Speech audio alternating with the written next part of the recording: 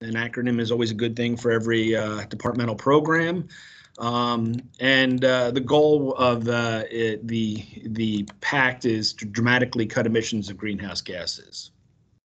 Next slide, Heidi. This is our reminder. We're going to be turning on the recording, and it looks like the little red dot is on. So we are now uh, recording this meeting. Um, in addition to recording this meeting, it will be made available online all the presented material um, is also going to be um, shared online uh, after after the meeting is over. Um, next slide. All right, so so how did we get here? Um, some of you, many of you may have joined us for a stakeholder meeting back in March. Um, unfortunately, I didn't even make that stakeholder meeting. I had grand jury duty, and uh, there's no getting out of that. So uh, Frank Steitz, you may recall, ran that meeting. Um, and uh, there was a limited focus on on what the department was thinking of doing at the time. Um, but why are we here? Uh, we're establishing a framework uh, for meeting the clean energy goals, and it's focused on all energy related sources. And that's driven directly out of the 2019 Environmental Master Plan. Um, further direction was given through Executive Order 100, which uh, directed DEP to take regulatory actions to reduce uh, carbon dioxide and short-lived climate pollutants uh, uh across the board. Um, another rulemaking is directing DEP to establish monitoring and reporting data in those cases where the data gathered is not sufficient to make the decisions of where to, to where to address um, uh, emissions. So there's another uh, sister rule going on uh, focused on record keeping and reporting requirements. Um, initial stakeholdering, as I suggested, uh, happened back in February. Um, the focus was on further reductions from existing stationary sources, um, EGUs, electrical generating units on and non-EGUs. I will say we will use a lot of acronyms today if there's any question about what an acronym is or uh, what we're talking about, by all means, uh, interrupt, uh, raise your hand, put something in the, in the comment section, um, and we'll keep an eye on that. So I'm going to be moderating the rest of the meeting uh, going forward, making sure comments are addressed, making sure those meeting uh, uh, those questions asked in the notes are addressed. So what came out of that stakeholder meeting? Well, the significant comments were received and there was a lot of the department should be doing more. Next slide. Okay, so uh, what do we, we, we focused on CO2 reductions from existing sources. Um, some of the questions asked at the highest of levels are why so limited? Why existing sources? Why CO2? Why only stationary sources? We should we be looking at mobile? Should we looking at other climate pollutants? Um, and and we went back to the drawing board, um, and we were all set to further stakeholder. COVID happened, uh, furloughs happened, um, and here we are, nearly well, it's about six months later. Uh, we would have liked to have had this much earlier, but um, some things out of our control um, forced us to to slow down the pace. So um, here we are today, and we're based on the feedback we re did receive back in February. We we have a lot more discussion. Um, next slide. So much so that we couldn't fit it into one day. So over the next three weeks, there's three stakeholder meetings based on reducing air emissions from sources in New Jersey. And you'll notice I didn't say stationary sources. So today we're going to be focusing on greenhouse uh, gas performance standards for electrical gen generating units. Um, we did have a discussion uh, about this back in February, but there's going to be more discussion, uh, more ideas, more more uh, uh, food for thought.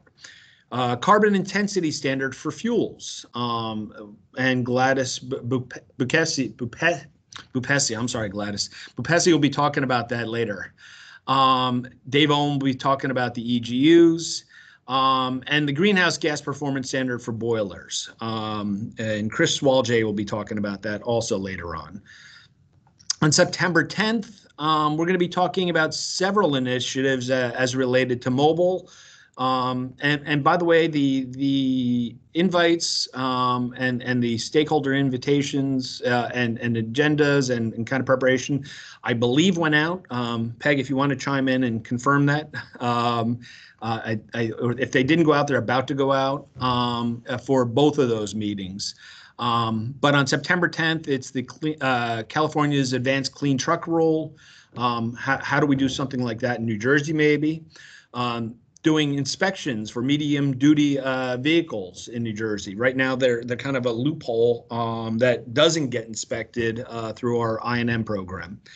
Um, maybe some trucker trucking contractor initiatives. Um, how, how, do we uh, have uh, trucks uh, convert over to cleaner fuels or electric, uh, ideally? September 16th is going to be more of a port focus, um, uh, focused on cargo handling equipment um, and and ships.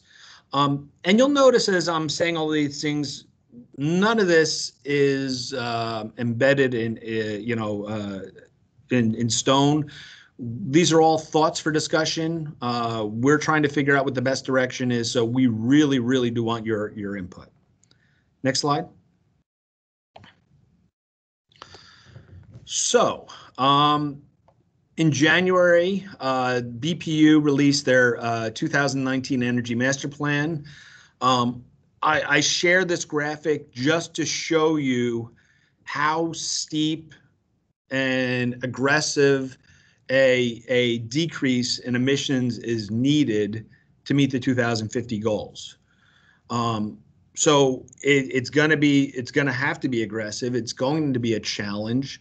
Um, two of the things you're going to hear throughout the talks today, and it's a common theme probably across all three weeks. All these things are driven off the Energy Master Plan. Um, so we're following the guidance that's being put out by uh, the governor's office, the uh, the state as a whole. And two, you'll notice all the emissions don't happen in year one, um, and they also don't all happen in 2050 we have to figure out what is the best thing to do at what point in time.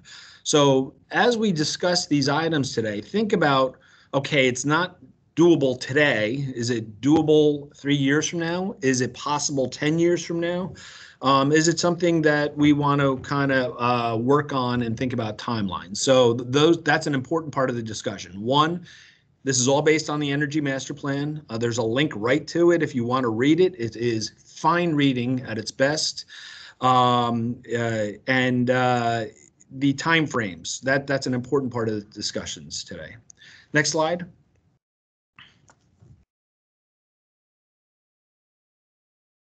Next slide, Heidi. Thank you. Okay, so today's meeting, as I talked about, um, is going to have three parts. Um, the entire morning session is going to be focused on greenhouse gas emissions from electrical generating units. These are the big uh, boilers. We have uh, two coal plants left in uh, New Jersey that are boiler uh, type operations. These are simple cycle turbines, these are combined cycle turbines, and they are large units that burn a lot of fuel. Uh, one of the things not covered in, in this area is nuclear. Um, no, no emissions, no greenhouse gas emissions from nuclear. Um, Dave Owen, uh, who I'll introduce in a, in a, minute or two, is going to be speaking um, uh, for a short time, um, maybe a half an hour, um, and kind of giving an overview of where we are in the state, what we're what what what we need to get to, and maybe some thoughts and ideas to kick around and and think about. Um, shortly after lunch, uh, Gladys Bupesi will be doing a presentation on carbon intensity fuel standards, um, pushing down, uh, getting rid of, uh, eliminating, whatever the phrase is you want to use, some of the dirtier, more carbon intensive fuels and pushing down that very aggressive curve that we talked about. So how do we get them pushed down that curve? Um, and then boiler electrification. Um, front and center in, in the uh, energy master plan um, is is boilers um, and the need to electrify them immediately. So um, obviously this, we won't have a rule place in immediately, but we we should be thinking about that. I notice there's a comment. Um, okay.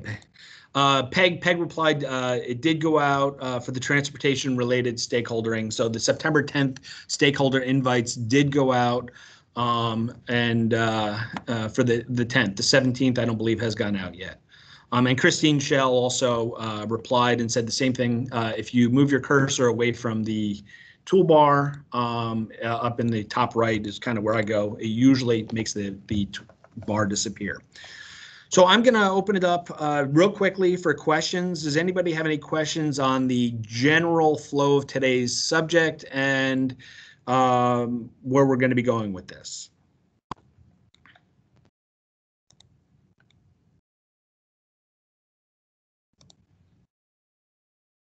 Okay.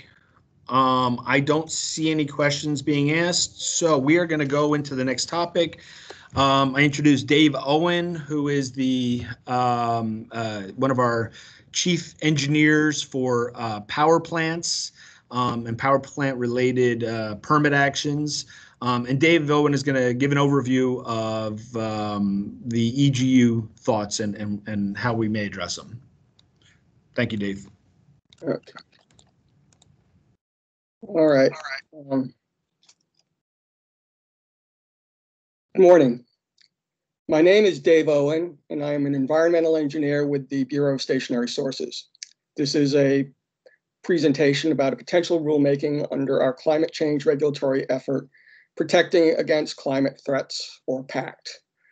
Now, if you have any questions, I would ask that you uh, wait until the end of the presentation. We'll have plenty of time for questions and discussion.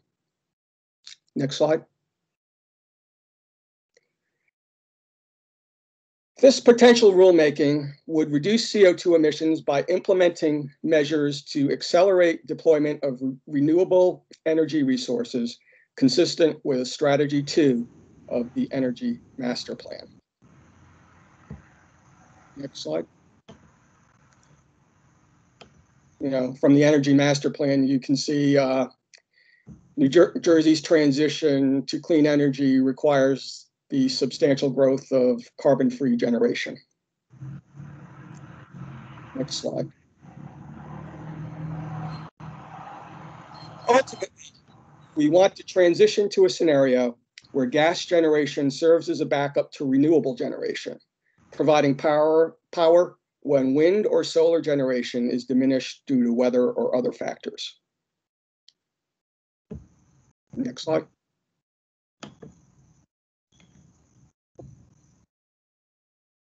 Now, you can see some of these numbers, uh, 32 gigawatts, which is 32,000 megawatts, 11 of solar, 11,000 gigawatts of offshore wind, and uh, 9,000 gigawatts of storage. These are big numbers. There's uh, a lot to do to meet the uh, modeler's expected demand. Okay. Next slide. Now, our goals are in this exercise is to establish CO2 emissions, typically in pounds per megawatt hour, for all electric generating units that are powered by fossil fuels. And to use these limits to accelerate deployment of renewable generation by allowing EGUs to allocate new renewable, new, and that's underlined for a reason, renewable electric capacity or generation to those EGUs and to allow EGUs to include that renewable generation when complying with their CO2 emission limits.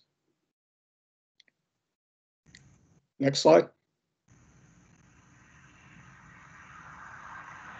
Later in the presentation, we will be inviting discussion on these topics. Establishment of appropriate limits, for new and existing EGUs. Timing for implementation of those limits for new and existing EGUs. And over time, reduce rates control generation by 2050. And then the third topic is how we will go about allocating renewable capacity or generation to an EGU. Next slide.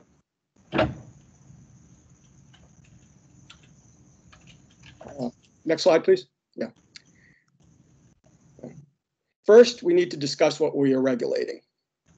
An electric generating unit, or an EGU, is a combustion or steam generating source used to generate electricity that delivers all or part of its power to the electric power distribution grid for commercial sale.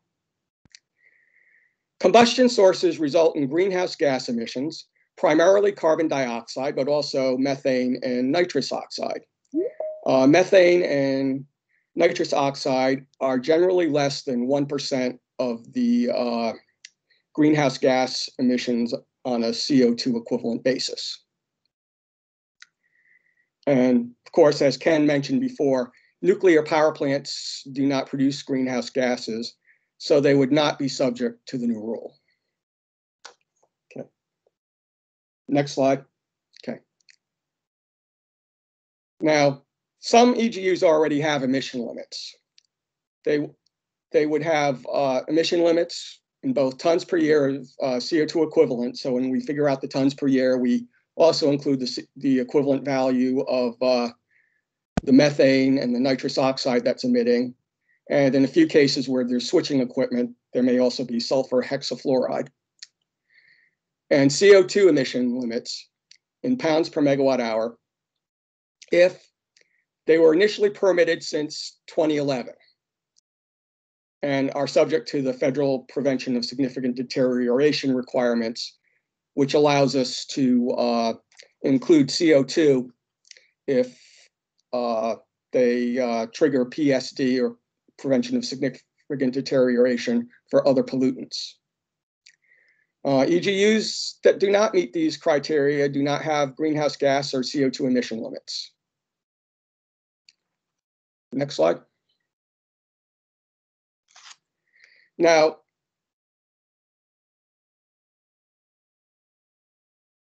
Now, when we one one goal of this exercise is to put emission limits on all fossil fueled EGUs. These emission limits would be in pounds per megawatt hour, as we're thinking now, and would allow a new renewable output to help uh, achieve the, these limits. Now, you look at the formula here, and essentially what we are doing is we're putting the allocated renewable power output in the denominator along with the output of the EGU.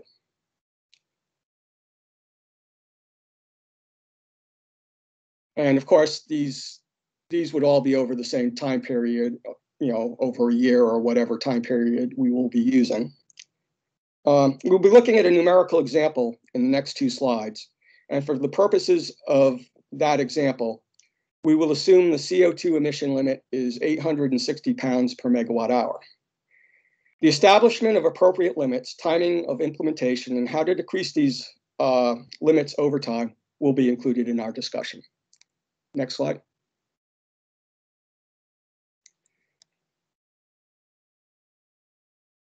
Say the CO2 emission limit for an EGU with a rated capacity of 400 megawatts is 860 pounds per megawatt hour. And the EGU by itself has a CO2 emission rate of 900 pounds per megawatt hour. Now, if the EGU operates with a 75% capacity factor, the annual CO2 emissions would be, you know, that 0.75 times 400 megawatts times 900 pounds per megawatt hour times 8760 hours per year, or about uh, 2.36 billion pounds per year. The capacity factor is the actual output divided by the potential output. The potential output in this case is 400 megawatts times 8760 hours per year. Uh, next slide. If the EGU has an allocated new solar capacity of 100 megawatts, operating with a 15% capacity factor, the resulting CO2 emission rate would be you know, the CO2 emissions divided by the uh, total output of the EGU, which is that 0.75 times 400 times 8760 hours, plus the output of the of the solar capacity, which would be 0.15 times 100 megawatts times 8760 hours per year. And it comes out to be 857 pounds per megawatt hour. So it would be in compliance with the CO2 emission limit of 860 pounds per megawatt hour. It is important to note that when facilities submit their plans for allocating renewable resources to EGUs, they could limit the EGU's capacity factor to balance the EGU's output with the pr proposed renewable output, renewable output in order to meet the limit. This limit would take the form of a permit limit on fuel use or hours of operation for the EGU. If they do not want to take such a limit, they would have to allocate enough renewable energy to cover their full potential output of the EGU. Okay, next slide. Okay, before we open up our discussion, I will run through the discussion slides and then come back to this one to start our discussion. The topic for the first slide is the CO2 emission limits. The questions include what limits are appropriate, should there be different limits for new units, and there sh should there be different limits for peaking units. Next slide. The second topic is timing issues. Questions include how to reduce the CO2 limits over time to achieve 100% carbon neutral power by 2050, and how to apply the, this, these reductions to new EGUs and to existing EGUs. And then the timing for implementation. How much time is required before the new renewable capacity is constructed and operating? Uh, next slide. The, third topic is how to allocate renewable generation to an EGU. Could it be, you know, maybe talking about installing new renewable generation at the facility, build new renewable generation elsewhere in New Jersey, become a partner in uh, new renewable generation projects in New Jersey. And then the next slide. And here's some more questions about uh, allocation. You know, how would renewable energy, renewable capacity be allocated to an EGU owner or operator? How would an owner or operator suballocate their total allocation to each EGU under control? In other words, if uh, if if an owner or operator owns uh, several EGUs and they have their partner in one solar project, how would they uh, divide up the uh, the uh, renewable generation amongst their EGUs. And uh, the third, third question would be, would renewable capacity be allocated to whole facilities or individual uh, electric generating units? Uh, Heidi, can you go back to slide 13, please?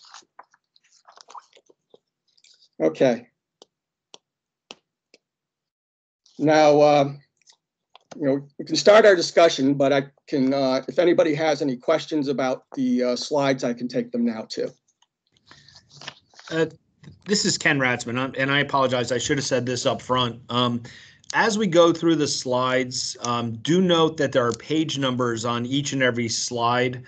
Um, so if you're thinking of a question and you want to have a question answered, uh, on a particular slide, write down the slide number. And again, I apologize, I should have said this up front.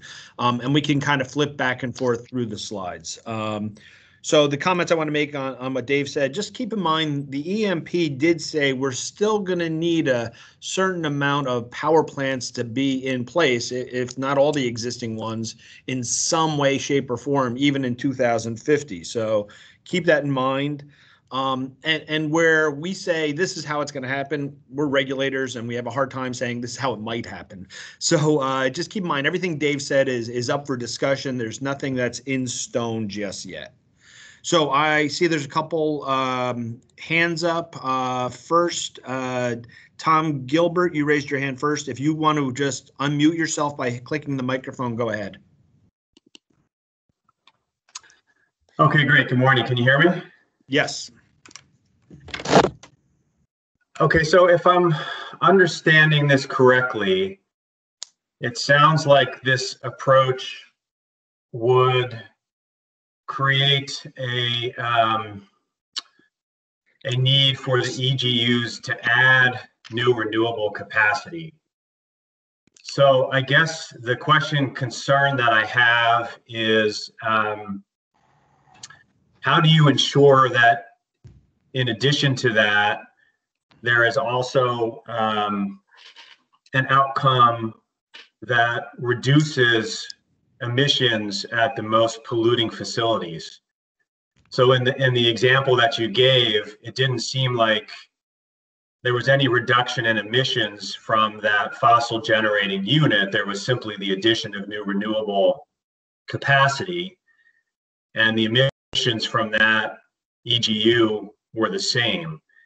And so um, in relation to some of the questions that you asked, what limits are appropriate, it would seem to me that you would need to set limits such that the outcome would be that the most polluting facilities would ultimately shut down or find ways to significantly reduce emissions in addition to adding renewable capacity so that um, we we get at the, the dual outcomes of both driving new renewable generation but also actually reducing emissions from or shutting down the most polluting uh, EGUs. Thank you, Tom. Dave, maybe you want to talk about what we did in the first round of stakeholdering uh, as far as putting emission caps uh, and and sliding caps.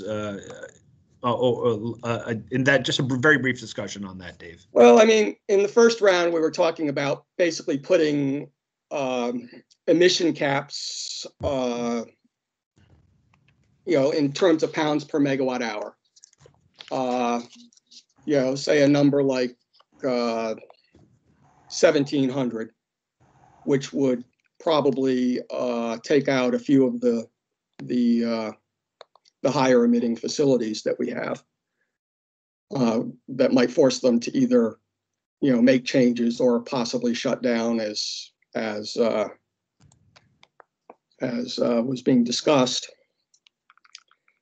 Um, and the thing is too is that the limits uh, when we if we do the, the these combined limits um, you know in some cases it's it's you know it would be difficult for certain facilities to meet them if they uh, if they are very high high emitting so So, so Tom, in a nutshell, I think it's a two-parter. Um, there's going to be a kind of an absolute standard that has to be met. Um, and then there's going to be uh, a standard that has to be met possibly through some kind of flexibility of uh, renewable installations. So I, I think it is a multifaceted or multi-piece discussion we can have on that. But I, but I, th- I, I- I do appreciate the comment. Okay. Um, next commenter, uh, was, let me go up to the top. I believe it was Jeff. Uh, sorry, D- Dave, Dave Pringle. If you want to turn your microphone on. Yes, can you hear me? Yes, we can. All right. Um, yeah, two questions. Um, slide eight talks about methane being less of the less than one percent of the uh, CO2 equivalent in a typical EGU. Um, my question is, what time horizon is that based on? Because the Energy Master Plan was based on 100 years, but state law has since been strengthened uh, to require 20-year time horizon. And the second um, question I had was, if I'm understanding this presentation quickly, uh, correctly, uh, we're talking about the rate of emissions, not total load. And total load is what matters more, especially given compliance with the Global Warming Response Act. okay Uh, um, which, which slide was it you wanted to go back to? Slide eight, was that? slide eight yeah Heidi, if you can put slide eight on. Thank you. Okay. Well, when we're talking about um, 1%, uh, this is really much greater than uh, 1%. So typically, you know, some of our EGUs, some of our new ones that we have the permit limits for have uh, CO2 emissions on the order of 2 million tons. So the, the methane is, uh, you know, on the order of maybe three or 400 tons, something like that. It's in the 100 ton range. And of course, the, the, the nitrous oxide is probably in the single digits of ton range. So even when you uh, multiply them out by the uh, by the the long term or short term uh, time horizon uh, uh, global potential factors, uh, they're still way less than the CO2 emissions that come out of the stack of the uh, EGU. So So, but was this, are you saying that whether you're looking at a 20-year time horizon or a 100-year time horizon, it's still under 1%? yeah, yeah, the the two million is such a much greater number than the uh, methane and nitrous em- emissions that it's it's going to be well under one percent in either case. And- And that's based on the smokestack, not the life cycle, so it wouldn't yeah, that's based on consider, on the stack. We don't like the word smokestack. So and a- am I right that so far we're only talking about the rate of emissions, not total load?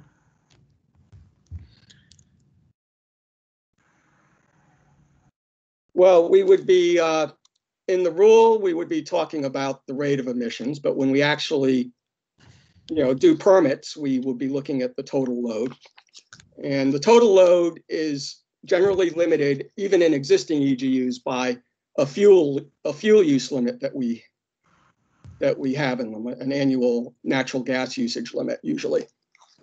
Right, I'm not talking about the total load for any individual source, but the cumulative load for the state, because that's what we're going after here, right? Eighty percent reductions from, uh, you know, under the Global Warming Response Act? Yeah, I, I, I think I understand the question. Um, yeah, I, that, that's, you're, you're getting into, um almost a mini RGGI type program for New Jersey. Um, and, uh, I, I, I hear you and, um, that is something, you know, we'd love to hear ideas and thoughts on, um, how, how would we, uh, put a cap on an overall, uh, state level for all EGUs and, and all, all emissions for that matter. So, um, this is the focus on EGUs and, and having them, them addressed. So, um, Frank, I see you have your hand up. I have to defer to you since, uh, even though you're cutting in line to a couple other people. No, I just, I wanted to, to, to address or speak to Dave's point um, about total load, mass load. And, and, and Ken, you started down the path. I hope you were going to finish. Um, so, so in terms of total mass reductions, we are part of the RGGI program, which does call for annual 3% reductions in mass emissions from EGUs. Granted, those emission reductions don't necessarily come from or have to come from New Jersey, but there will be reductions in New Jersey due to the RGGI program. That said, you know, the, to keep in mind that as as we transition away from um, fossil to renewable, which this proposal is focused in on, um, any new load, any new load that comes, or any new electrical demand is to be offset with preferentially with renewables, and that's what the Energy Master Plan calls. So over time, total mass emissions as part of a comprehensive energy master plan will be reduced. The EGU sector is that sector we have to assure that does not grow. In other words, if we electrify our transportation and our other heating sectors to reduce emissions in those sectors, we have to assure that at the same time we are we are getting our our energy generation through renewable means, and that's what this the the the crux of this problem is. It's it's there may be uh, increases in demand for electricity, but we are trying to offset those increases in demand with renewables. So that's just the point. Um, speaking to Dave's. I hope that answered the question.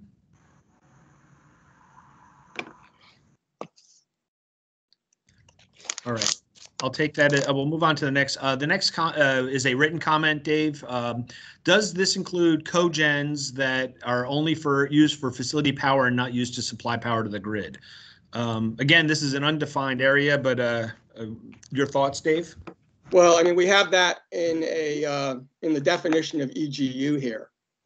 And, and uh, that's what we've been using traditionally is a combustion or steam generating source used for generating electricity that delivers all or part of its power to the electric power distribution grid. So at this point, you know, if a cogen does deliver power to the grid, it would be potentially subject. But if it's totally inter- internal, according to that definition, it wouldn't be. But then again, that's a topic we can discuss. Um, one of the things I didn't say earlier, and I'll, I'll bring it up now, e- even if you, uh, uh, uh, you know, you, you react and you're thinking later tonight, oh man, I wish I thought of this and said something, you can always submit written comments. Uh, so, uh, don't feel, uh, that is the only day you're gonna be able to speak on this, but we'd love to hear from you today if possible. So Rich, I hope that answered your question. Um, the next person who had their hand up uh, was Nicky Sheats. Uh, go ahead, Nicky, if you want to unmute yourself, just click the microphone. Uh, yeah, can you, can you hear me? Yes, we can. Okay, thank you. Um, um, uh, I'm at Thomas Edison State University and New Jersey EJ Alliance. And, um, the EJ community is really concerned about, uh, greenhouse gas emissions, but also in the context of the coal pollutants that are emitted along with them. So we've been advocating, this, this is a variation of the first question. We've been advocating that, um, those plants that are located in EJ communities or whose emissions significantly impact EJ communities should be forced to reduce their actual emissions. So we would advocate setting limits, um, uh, either directly on the coal pollutants or indirectly on the carbon dioxide emissions, and you would probably get coal pollutant reductions that would reduce emissions in in you know these communities that probably have near the most um, most pollution as uh, Tom Gilbert was saying. Uh, well, he didn't actually mention EJ, but you know, plants with the most pollution. Um, but the communities have the most pollution, and therefore it would it would be good to you know reduce the emissions in those communities with the most pollution, um, in addition to the plants that put out the most pollution, and the communities are more vulnerable. So we would really like to talk to you about that. We we submitted comments on that during the RGGI process, and um, you know I've written about that. And have you considered that? Would you consider that? And would you talk to us about that? Um, yeah, uh, Dave, I'll take this one. Uh, Nicky, as you know, there's some legislation that's uh, in the works uh, that that may define some of this for us um, and may assist us in, uh, to that end. Um, EJ is always a challenging area. Um, while we can certainly have that discussion and we can talk about that um, and and and ask look for more aggressive goals. What I think you'll find, especially in the next two discussions on the mobile side, there's a lot of EJ focus. Um, with the, uh, I'm sorry, with the next two days with the mobile mobile uh, sources, there's a lot of EJ focus. Um, uh, for the EGUs, uh, if I hear you correctly, uh, I'll just make up a number. If 800 is a limit, that is for most of the state. If it's an EJ area, you're looking for a 750, say, I'm just, you know, or 720, a 10% less uh, than than anywhere else. If I'm hearing you correctly. We're, we're, we're looking for reductions in, in, in, in whatever they're admitting now. We're looking for, for, and we haven't specified the reduction, you know, to be, to be bargained and discussed, but for reduction in, in their actual emissions. Yeah. Okay, you're looking for reduction in actual emissions, not just uh, uh, an offset or, something else. Um, not, not as, uh, well, you know, if the offset's in that same community, we can talk about it, but it's not helping Newark if, if those folks in Newark, if it's offsets in Camden. So to refocus, kind of where where we are, if if we were thinking, uh, you know, solar procurement or wind power or whatever it is, um, I'll use Newark as an example. And and if a power plant were in Newark and and they they made a deal with the um, what's a, a facility a place up there, uh, the IKEA, um, and, and IKEA is willing to put solar on their roof and uh, and and their parking lot. A power plant in Newark could maybe uh, set something up so there's a huge solar system in in Newark offsetting a Newark power plant. Is it is that what would that be acceptable? You know, we'd have to talk about that. We, we had not actually envisioned that in when we were dealing with, with, with power plants. Mm-hmm. You know, we, we were looking for actual emissions reduction from those from those power plants. Um, but but but that's why we would you know you know want to enter into, into discussions with you to go over the details of a proposal like that. Now, you know, there, there would be obviously obvious problems with that because how do you define community and, and all of that? So you you know, so when you start using offsets, it gets a lot more complicated. Absolutely. Uh, you know- yeah, offsets, uh, offsets or kind of, uh, or mitigation is always a challenge Yeah. to, to track and, and keep records on. I, I, I, I agree, Nicky. So, And what emissions are you offsetting? You know, is is it is it a match? So, so you know, better to get those direct di- direct emission reductions. But we certainly like to talk to you. You know, talk to you about that. okay. Um, I think the next one was a, uh, written comment, um, from, is that a yes to talk? I'm sorry, Is that a yes to talk? who was that? I'm not sure who's talking. Uh, this is Nicky speak again. I was just asked my last question. You, you said Oh. I'm sorry, Nicky, go ahead. I thought, I thought you were done. I apologize. No, no, you said okay. Is, is that a yes to talk? You know that. that- Oh, absolutely. Well, We can, al- we can, al- we can always talk. And, and I'm curious how the E- EJ legislation plays out and, and, and what we're going to be looking at there too. So I think all, all these things have to be rolled in together and evaluated. Agreed. All right. Thank you. Um, Ken, nice, Ken Dolsky, I see you have your hand up, but I'll read your comment first. Uh, your comment says, I think the total greenhouse gas CO2 from methane nationwide is it about equal to that of CO2? New Jersey should consider its impact on total life cycle by allowing so much gas to continue to be burned. I don't know if you want to add to that, Ken. Um, if you do, go ahead and click your microphone. Uh, Thanks very much. Um, No, I didn't, and I think you could take that, you know, along with Matt's comments following mine. Um, So I'll let Matt deal with that. But what I wanted to just comment on quickly was um, this approach that you're talking about of adding uh, renew, don't- a portion of renewable to each EGU uh, is interesting, uh, but it strikes me as only maybe one tool that uh, would work well in certain situations, but maybe not all. And I think you really need to look at certain uh, other specific specific situations in detail. And let me give you a great example. I read a report recently that talked about the possibility of replacing most of the peaker plant uh, output in New York with storage. Um, and um, I think that that's you know very intriguing. Um, the cost of, uh, of storage is coming down dramatically. There's some new technologies coming out, uh, like compressed air and some others that are going to drop the costs uh, dramatically, but only if they're at uh, utility scale. So something like that um, wouldn't necessarily fit fit with this, you know, procedure that you're talking about about adding necessarily, uh, you know, renewable energy, but could be something that's very appropriate for fixing the whole problem of having all these dirty peakers.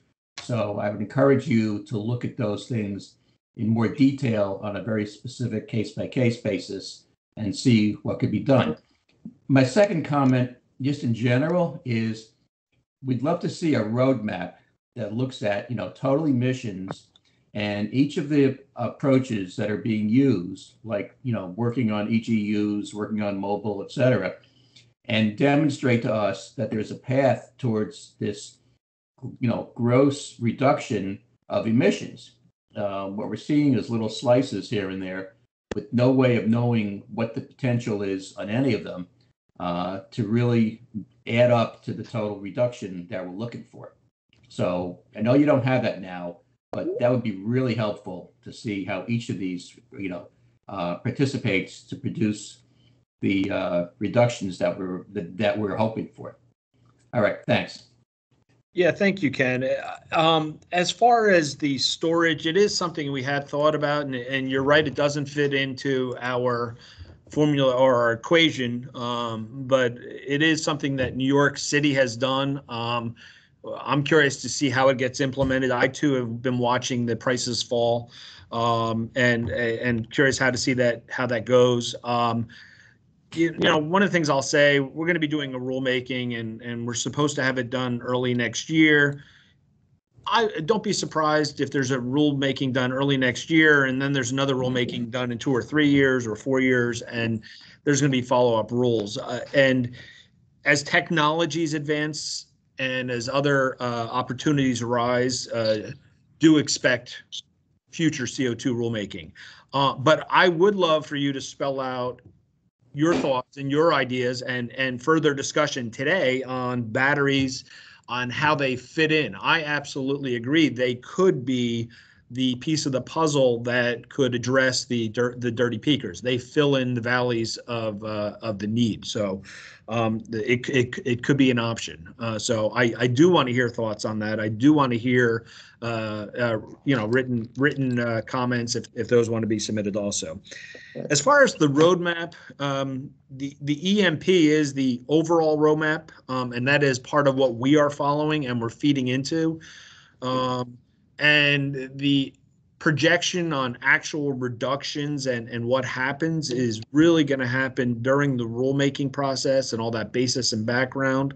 Um, it, it is a very big lift.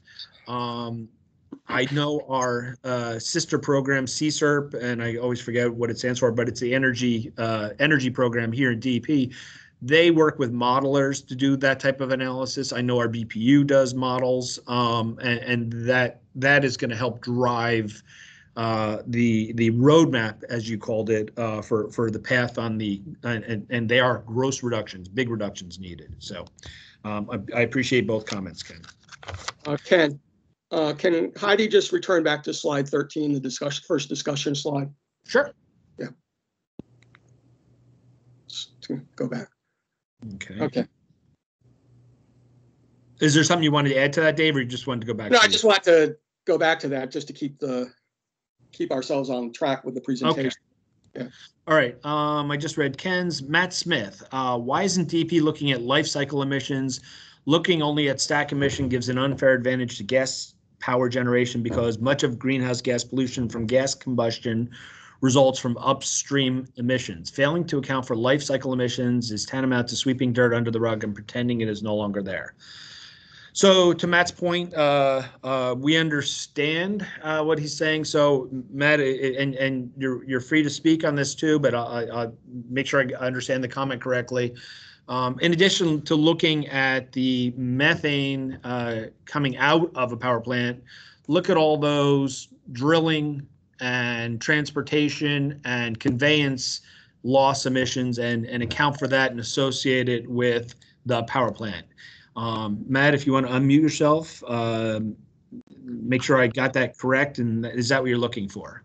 Yeah, thank you, Kenneth. Um, I just think we we cannot detach consumption from production, right? The gas doesn't arrive at the power plant by by magic. It gets there via very certain production and transportation method, and we know what the leakage and emissions rates are from those production and transportation methods.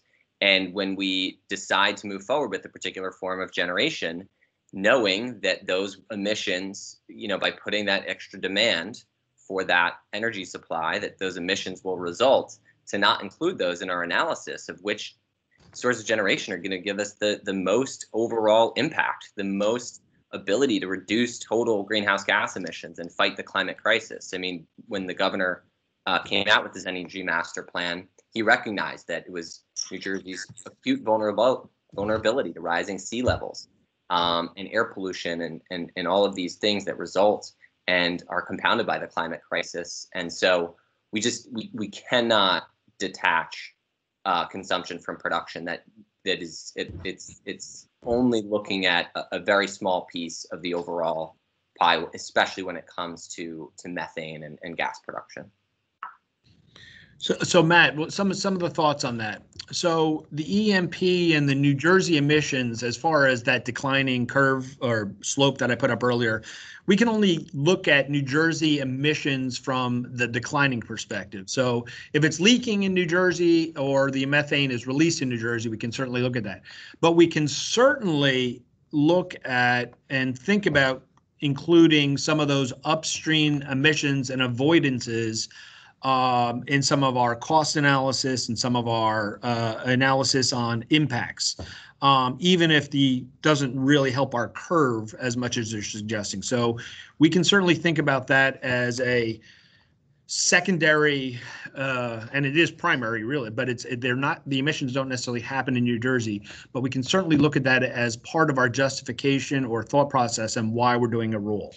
What about looking at the percentage of upstream emissions that result from the 60 plus year old pipelines, interstate transmission lines that run through New Jersey from where east? You know, that is not an insigni- insignificant percentage of total emissions, and those ones are actually occurring in New Jersey. Okay. Um, two things. One, if you could share anything you have with us, uh, that would, that'd be great. Um, I, I know, uh, our, our CSER folks are probably well aware of that.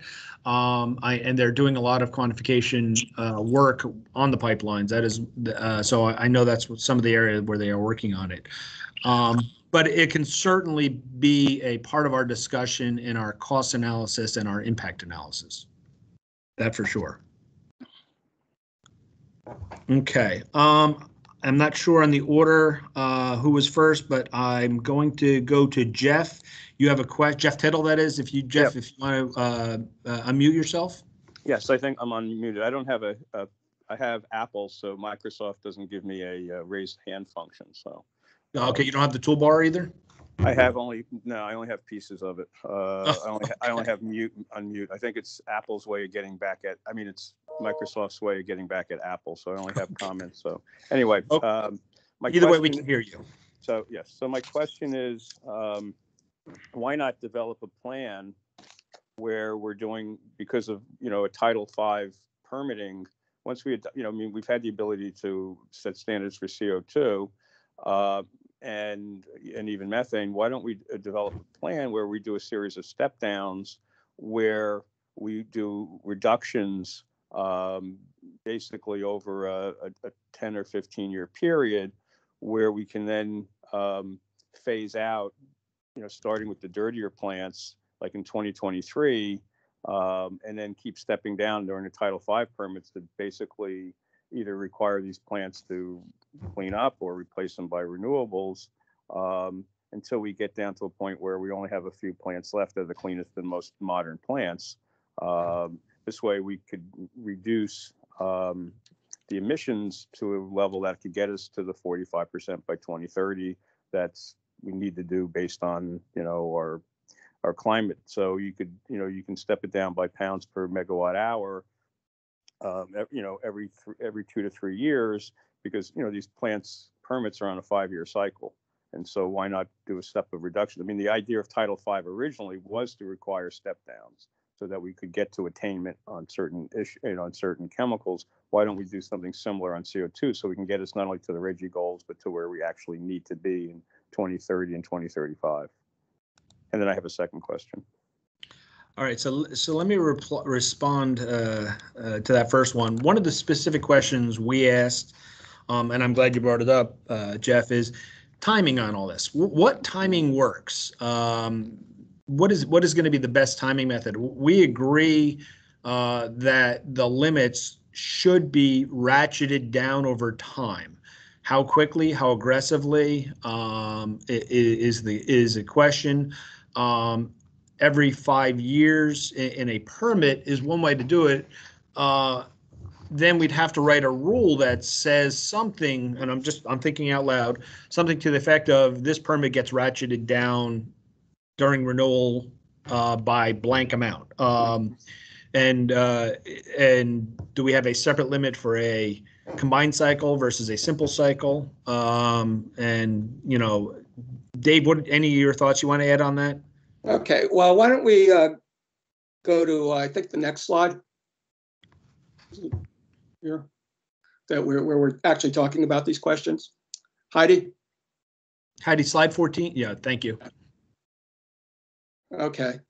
Um, again, you know, this is the discussion topic, uh, how to reduce the CO2 limits over time. Uh, you know, applicability to new and existing. And I think the next slide too, uh, let's see. Okay, I guess, okay, just go back. Um, you know, and how much time is, is required. So, so, you know, that's part of this rule will be, you know, some way of stepping down. We may start, start out with a, you know, fairly high, high limit for Mhm. pounds per uh, megawatt hour.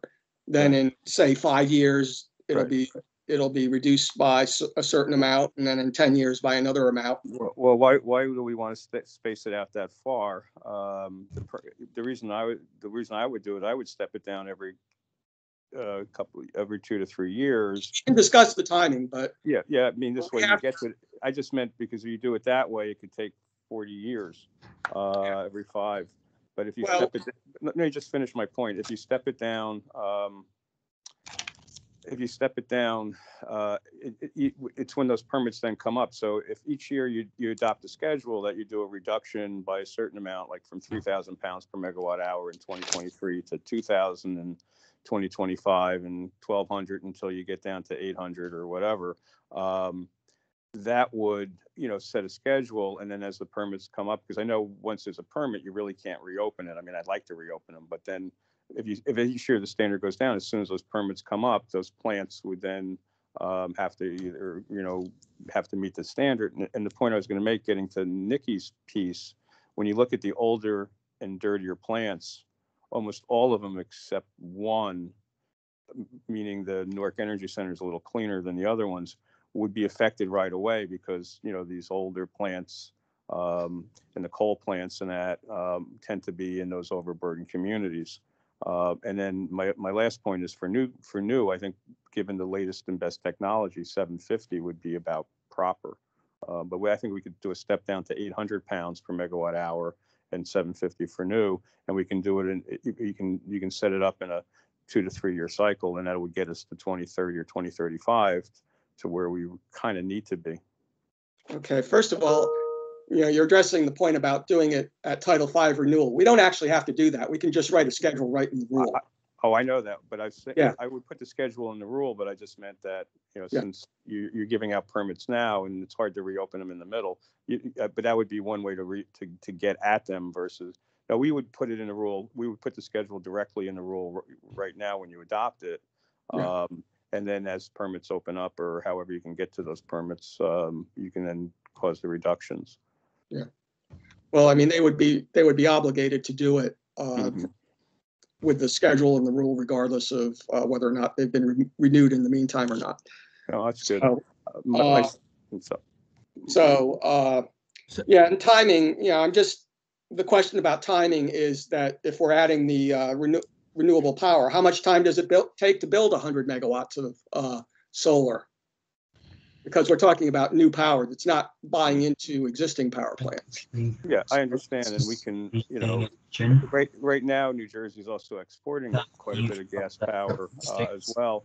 But that's, but I think if you look at the ratcheting up of where we are going with the energy master plan, we should be counterbalancing ratcheting down in greenhouse gases with it. So as renewables, because we're, we're, you know, we're talking about, you know, eleven hundred megawatts coming on in a couple of years. We're talking about seventy-five hundred there. And, but if you look at the energy master plan, you know, we're talking quite a bit of solar coming online. And so as one comes, as greenhouse, as um, renewables go up, greenhouse gases go down. Um, you should, you know, the schedule should kind of almost be together. But if we want to get to those reductions we need, we need a more aggressive schedule.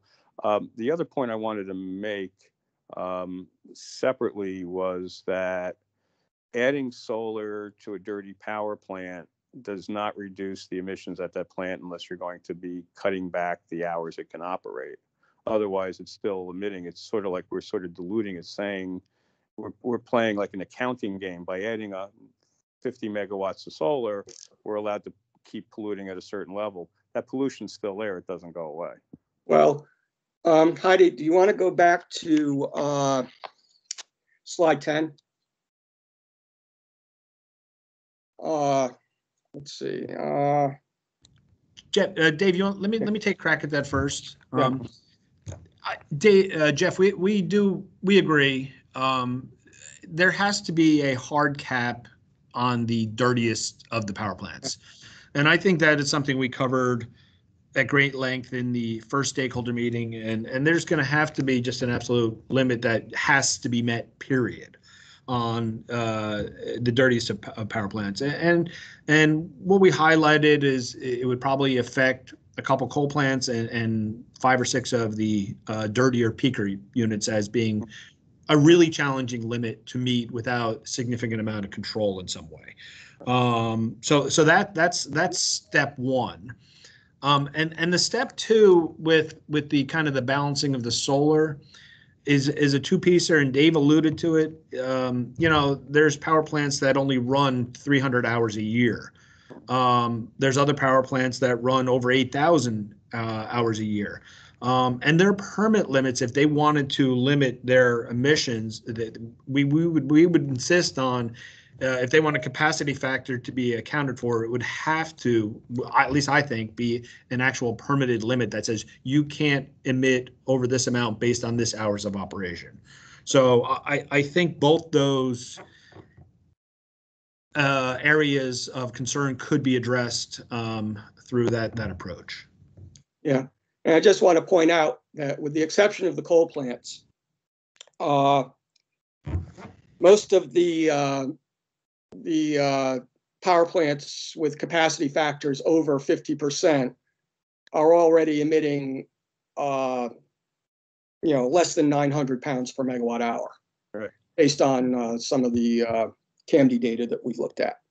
So it's basically the the newer and you know to whatever extent cleaner power plants are the ones that are operating more at this point. The the older peakers are less efficient. Their their fuel costs are higher uh, on a per megawatt basis, so they only get called upon, uh, you know, when the demand is really high. And again, as Ken was talking about, Heidi, do you want to go to the next slide, please? Uh, next slide after that. Is that, you know, we would be if if if an EGU wanted to this this particular EGU wanted to uh, commit itself to installing 100 uh, megawatts of uh, power, then uh, then it would have to uh, basically commit itself to that 75% capacity factor, either by a limit on hours of operation or a limit on fuel use over the course of a year. So, and of course, you know, the other thing you have to remember is that you know, the solar capacity factor is, is low because it, you know, it doesn't operate at night and whatever, and it operates at peak when the sun is the highest. So I use that 0.15 in that example, uh, based on based on EIA data from 2014 to 2017. It said that New Jersey's solar capacity factor was actually about 16.8%. So, so that example's a little conservative in that regard too. Uh, Heidi, you want to go back to the, uh, I guess, second discussion slide, which would be 14? Yeah. Okay.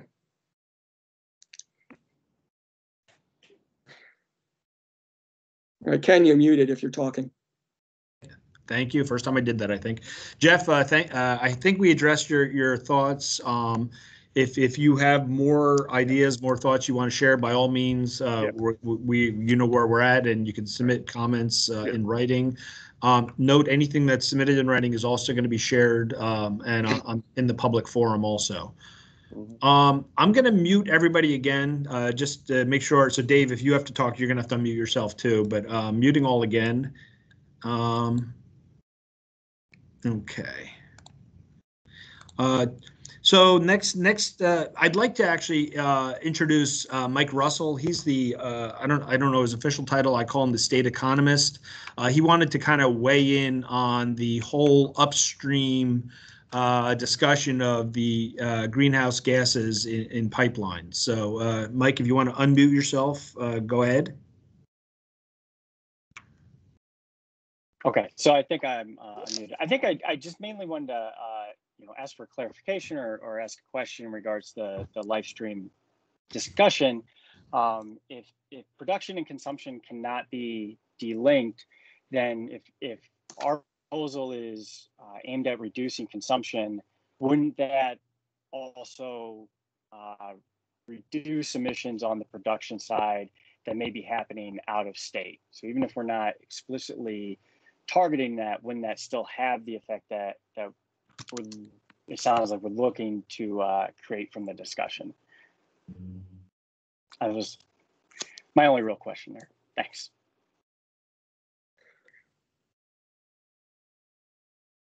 Can I go ahead and respond? Oh, great. So, I mean, you're right in saying that there would be some associated reductions at the consumption, at the uh, production side by reducing demand. However, this is about re- choosing the best energy sources to get the greatest impact, right? It's not just we'll take whatever reductions we can get. We need to be extremely intentional about picking the fuel sources that will provide the greatest emissions reductions. We are in a climate crisis. We have less than a decade to achieve the 45% reductions outlined in the 2018 UN IPCC report that the governor has committed and the, and the legislature have committed the state to achieve by um, upholding our commitments to the Paris Climate Treaty.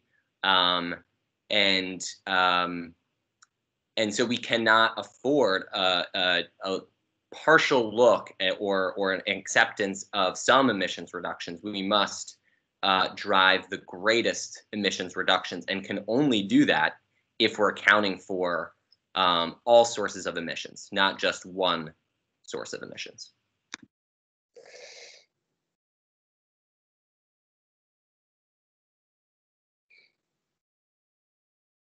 Thank you, Matt.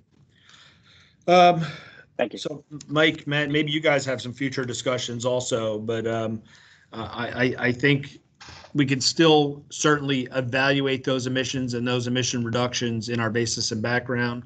The actual accounting for them on the state reductions may or may not be applicable depending on where that pipeline resides. So that is a definitely food for thought.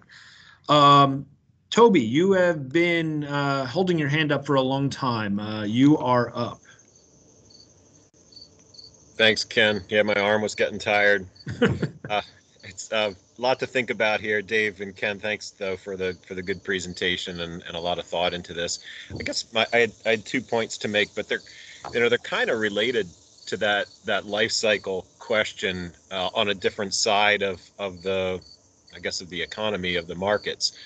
Uh, but the, it, it starts with something related to you know the questions that you have on on slides 13 and 14 uh, if we're talking about what what limits would be appropriate, I think on the previous slide, Dave, uh, I, I I have I immediately start thinking maybe like Dave Pringle said earlier, what are we looking at in tons of total reduction? You know, total loading to the atmosphere.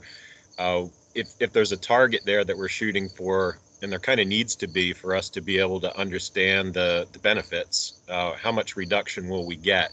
From reducing to different pound per megawatt hour levels.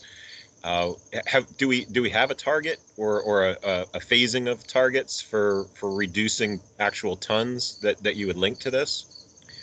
See, see, one of the challenges, and and I I don't I don't want to put a number out there. Um, one of the challenges with this, and and Dave alluded to it, um, and some of our uh, energy people can certainly uh, support the statement is there, the energy demands in New Jersey, if everything goes the way we want, is going to increase. So the question is, how do we ensure that we minimize uh, emission increases from fuel-fired power plants, and we encourage alternative energy as as much as possible? Um, you know, there, there's a question out there we haven't gotten to yet of are we banning new power plants? I don't know the answer to that yet. Uh, there, there is no fuel ban out there right now.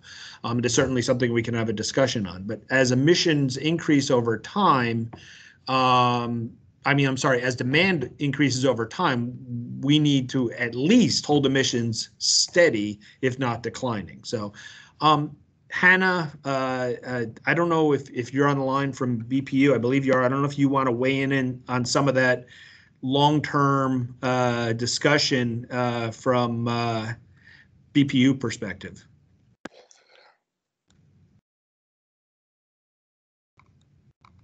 Not not Toby, Hannah. Hannah from uh, BPU. I, I don't know if she's on the line or not. Uh, well, Ken, I you know I know the I think roughly the greenhouse gas inventory uh, last year you did it had had, I think, somewhere 17, 18 million CO2e as- uh, associated with EGUs, So- uh, in-state you- EGUs. Toby, can you repeat that? You broke up on that one. I'm sorry. Try, try it without video. Can you hear me better? Give it a go. Can yeah, I was just saying that based on DEP's inventory of in-state greenhouse gas emissions uh, from EGUs, I think the, the total inventory points to about uh, 17, 18 million metric tons of CO2e from EGUs. So uh, if we went to zero, that's what we would, that would be what we would be getting ultimately, right? From a, from a baseline of 2018, I think is the last year you have inventory data for. So, you know, think, thinking about how much of that you would be able to get in chunks and, and relate that to pound per megawatt hour reductions, it's just, you know, the, my linear thinking, my analytical thinking is that that's part of your formula. If you haven't pros- progressed to that yet, that would be, uh, yeah, something I think you need to, need to be able to show to be able to, you know, to, to demonstrate that we're getting the benefits, the intended benefits. Uh, That, then, that would uh, absolutely, that would absolutely be part of any rulemaking. Do I hear Hannah? Yes, can you hear me? Yes. We got Sorry, you. I got myself off mute before. Um, I, you know, I think it's a really good point. I, the only other consideration I would add is that, you know, there, we're also looking at emissions from other sources and part of trying to reduce emissions in aggregate is to reduce emissions from transportation and the building sector as well. And in doing so, will increase demand on electricity. And so part of that is the reason for a, a massive new renewable build so that we're not building new power plants to capture the new load. But um, but I think in, in looking at at how we might try to reduce aggregate greenhouse gas emissions from the power plants has to be done in consideration of how do you balance out with new demand coming on because you're reducing greenhouse gas emissions from other sectors. Yeah, and, and Hannah, that and Ken, that's kind of where my my second point was going was, um, yeah, you, you can talk about the other sources within the economy, uh, but then we also have other EGUs outside of New Jersey. You know, we're on the on the PJM grid. Uh, if we if we're successful in reducing emissions in New Jersey, but those but that causes our our our, our New Jersey-based generation to become more expensive uh, the other the other states in the grid, the other power plants in the grid will pick that up. So we have a leakage issue that we would you know need to again evaluate in the uh, in the overall picture of are we meeting our objectives to reduce total CO2. Uh, we, we might feel good about having standards in New Jersey, performance standards in New Jersey, but if that's just causing uh, that that load to be picked up perhaps by dirtier plants in other states that don't have the same regulation, uh, you know, we, we've got to we've got to consider that carefully as well. And uh, as you know, that leakage question's always been a been a big one with with uh, programs like RGGI. I, I think you're going to have the same the same interplay here too. Yeah, Toby, to respond to the leakage question, it took an hour and a half for that to come up. Uh, well, um, but yeah, leakage, we knew would be one of the subjects uh, talked about, and it is something we are concerned about, and it is something we evaluate. Um, and I referred to models being run uh, by CSERP and by BPU, and, and part of their modeling does address leakage. Um, one of our hopes is uh, Pennsylvania does join RGGI and uh, leakage becomes less of an issue from that perspective. Um, but uh, it, it, it, if we have a really tough standard, I understand the leakage concerns, and, and that is something we would certainly have to evaluate. And uh, and and don't discount your uh, you know your ability with uh, interstate diplomacy. Let's say I know that's a hard thing to do, but I know you guys try to do it too. So that would be another recommendation, certainly to to level that playing field. Okay, that, that's all I had. Thank you. Okay, thank you, Toby. Um, I'm gonna go back to the comments section. There were some people who had comments. Actually, Bob Kettig, you're gonna cut in line. Go ahead. Thanks, Ken. Um, just, yeah, I just wanted to um, respond to and kind of piggyback on on Toby's comment. Um, first, the question in regards to the uh, absolute reductions based on the current inventory. You know, yeah, we're about um, 18 million metric tons from the electric generating sector in New Jersey. At least that's our 2018 inventory, um, and that's you know roughly with us consuming about 75 million, 76 million megawatt hours. um, where we have to get to moving, moving forward to 2050 is, is a more than doubling of that. It's what the, the EMP projected. So the, the, the, um, using this, um, rule as a mechanism to, um, you know, expedite the deployment of renewables into the grid supply electric market is, a- is a step in that, in, in that direction. That we're not, we're not looking at, um, how many renewables do we have to deploy to back off 18 million tons? We're looking at how many renewables do we have to employ at meeting our mandate to beat the 80 by 50 reductions and 100% renewable generation by 2050 when we have not 75 million megawatt hours of load, 168 million megawatt hours of load. And to, to Toby's point, you know, New Jersey participating in a regional transmission um, operating electric grid, PJM, um, you know, there, there, uh, there is effects that go beyond our border that relate to the emissions from our consumption of electricity. And, and without recognizing that, um, you know, moving forward, there is unintended consequences of just displacing and shifting the emissions from things we electrify to electric generating out of state. So, um, yes, absolutely regional approach, um, absolute reduction from 18 that's today, but we're looking at where we have to get to in 2050.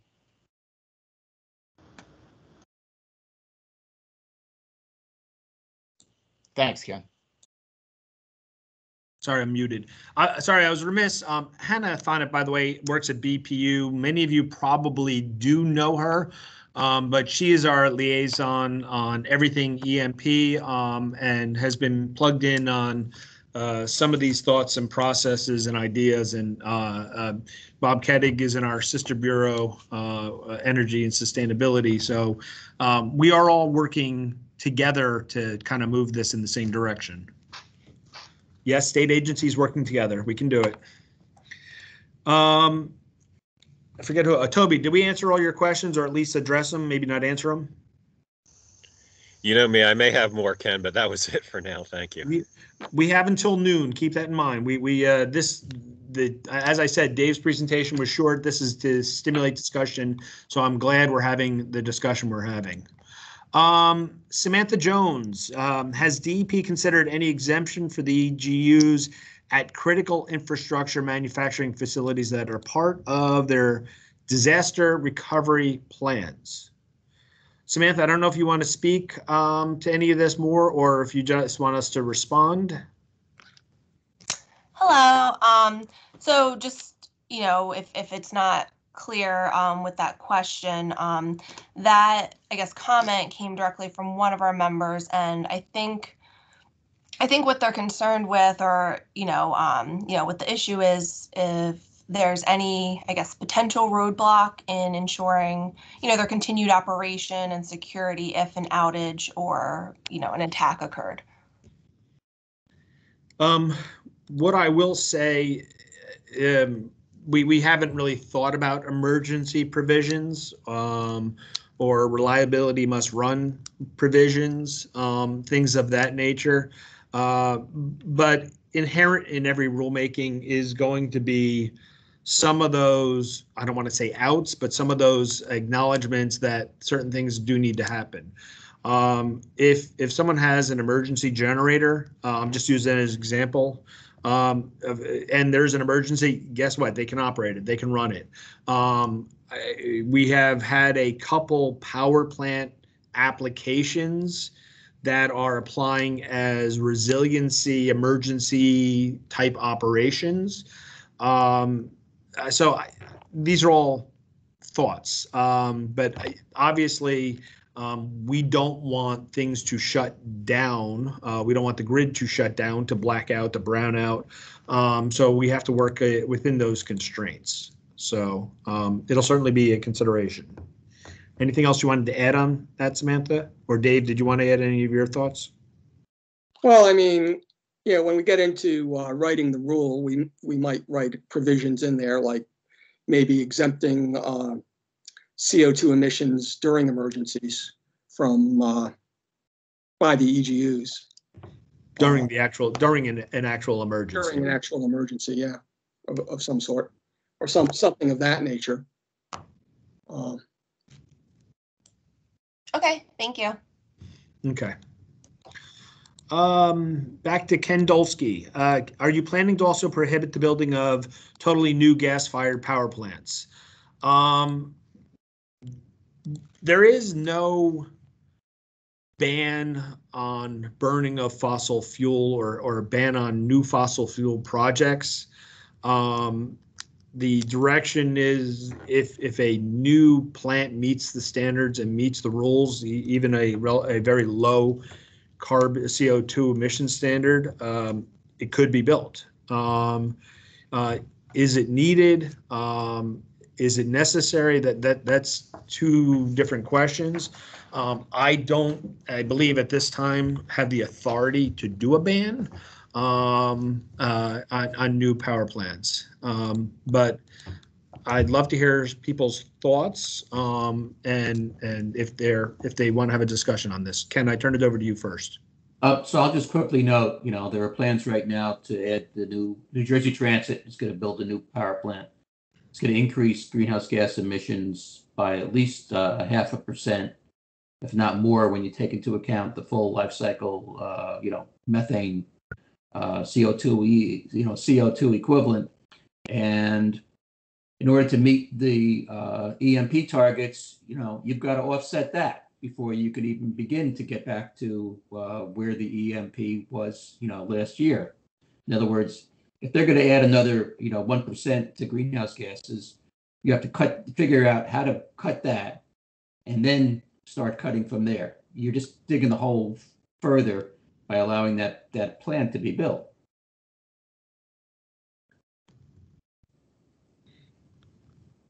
Okay.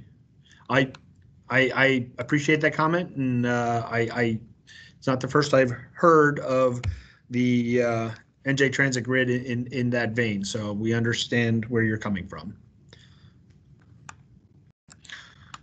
Um, Dave Pringle, if most already under operating under 900 pounds per megawatt hour, then how are we making things better? i.e. reducing emissions as opposed to just not making them worse even after offsetting this is just part of the pie and there'll be greater demand given EVs and other greater electrification. Um, Dave, I think we partially touched on this um, and Hannah and Bobby also touched on this. Um, there is always going to be a need for a certain amount of power plants out there um, uh, in, uh, in the future um, the the demand for energy is going to increase. Um, and we're hoping, and we will have to quantify it, we're hoping that by promoting and pushing uh, the renewable energy market, we can fill in that increased capacity needs with renewables. Uh, so th- that is that is my thought and my answer on that. Um, Hannah or Bob, uh, Bobby, do you want to kind of chime in on that? Or Dave, do you want to add anything before I turn it over to others? Yeah, I, I think you're right that we, um, can you hear me? Yes, we can. Uh, I think you're right. We already kind of dis- discussed it, so I'd just like to add add a little bit more to it. Um, kind of teeing up a question also already on in the chat from Ken Dolsky. How how much um, are you? What kind of energy efficiency are you accounting for in all of this? And I know some of this is you know recognizing that we're talking about you know a smoke. I'm sorry, a stack rule um, here, but um, you know, uh, BPU and others are dealing with BPU and also I, um, I mean, dealing with the energy master plan, all these other things. So, um, yeah, I know we, we need to drill down on each individual piece, but it's really hard to, you know, how good or not we think this approach is, is directly related to how it fits in with everything else. And we're not even seeing that everything else. So I think it makes that, you know, the, the roadmap that Ken talked about earlier, uh, very critical. And um, as good as the energy master plan is, it's still very much a shell um, and has yet to be even updated to reflect the new law that uh, you need to be looking at 20 year time horizon. So rather than repeating, you know, past things, I, I guess I'd like to hear more about you know, the 20 year time horizon, um, how energy efficiency is playing into all this, and how do we move forward seeing how this piece of the puzzle fits in with all the other pieces to make sure we get to the reductions that are necessary overall.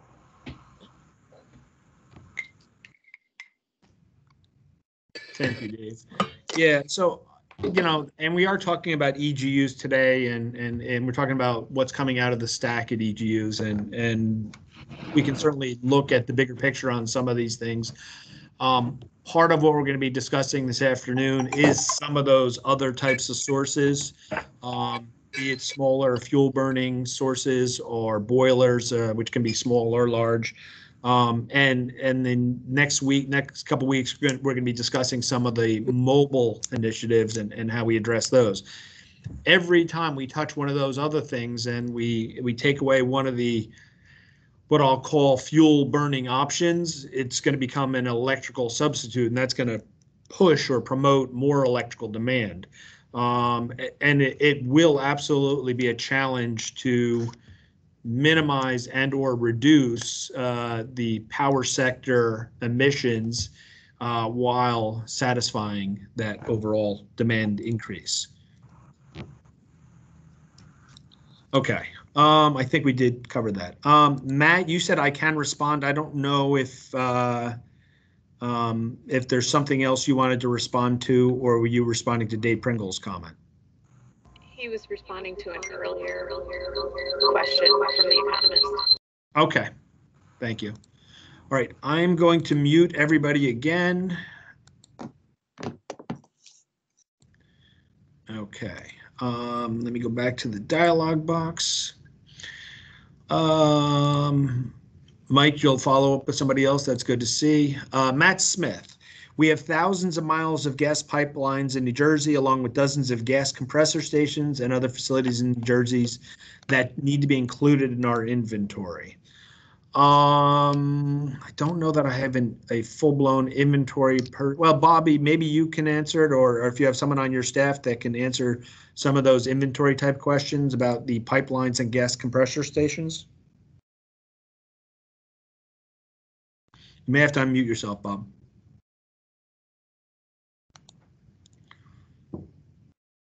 Okay, I guess he's. Okay. Oh, um, okay, maybe, um, maybe that was in response to a Mike Russell comment. Um, Matt, as far as the inventory, I'll, I'll just kind of look at it this way. Um, the gas compressor stations from a, an efficiency perspective, uh, we, we didn't do a CO2 rule, but we did do a, a RACT rule or CTG uh, uh, a couple years ago on those. So for those that are gas fired uh, turbines, co compressors, that they are very efficient. They are still burning fuel. You're absolutely correct, and they're burning a significant amount of fuel. Uh, it, but I don't know if it's significant in the overall inventory. That is not something I can answer. Um, maybe Bobby will answer that. Um, and as far as the pipelines, I think that is part of the the rulemaking that's being done on uh, collecting more information on other sources. So. Um, Matt, I don't know if I answered that question or not, if you want to chime in. I mean, I think many of us are sort of um, articulating this point. So, uh, you know, I, I, think we've heard from DEP that it's not in the plans to address this the, in this rulemaking session.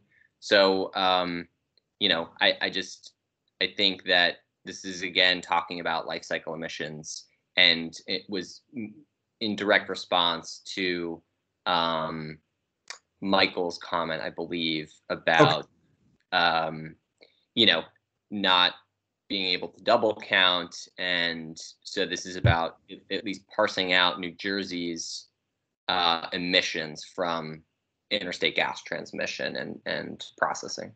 Okay. Noted. Um, next question is from Ken Dolsky. Uh, how much improvement in energy efficiency are you planning to achieve to reduce load demand? Uh, Hannah, if you're still on the line, that is definitely in the wheelhouse of BPU.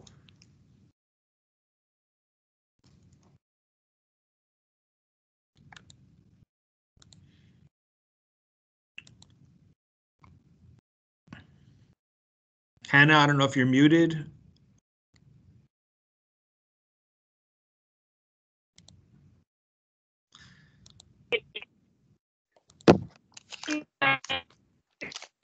You're breaking up, Hannah.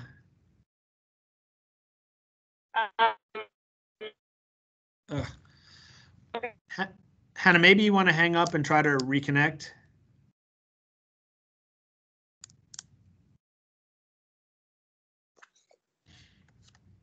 I too have had some challenges from home. I came in the office uh, today because I couldn't couldn't couldn't uh, handle that one today. So, uh, Ken, I, I hope to answer that one uh, through Hannah in a, a couple minutes. Oh, you back, Hannah?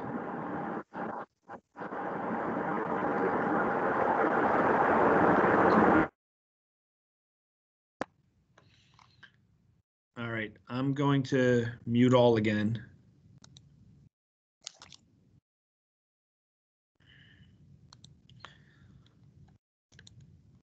Uh, let's see, uh, Tom Gilbert, holding emissions steady.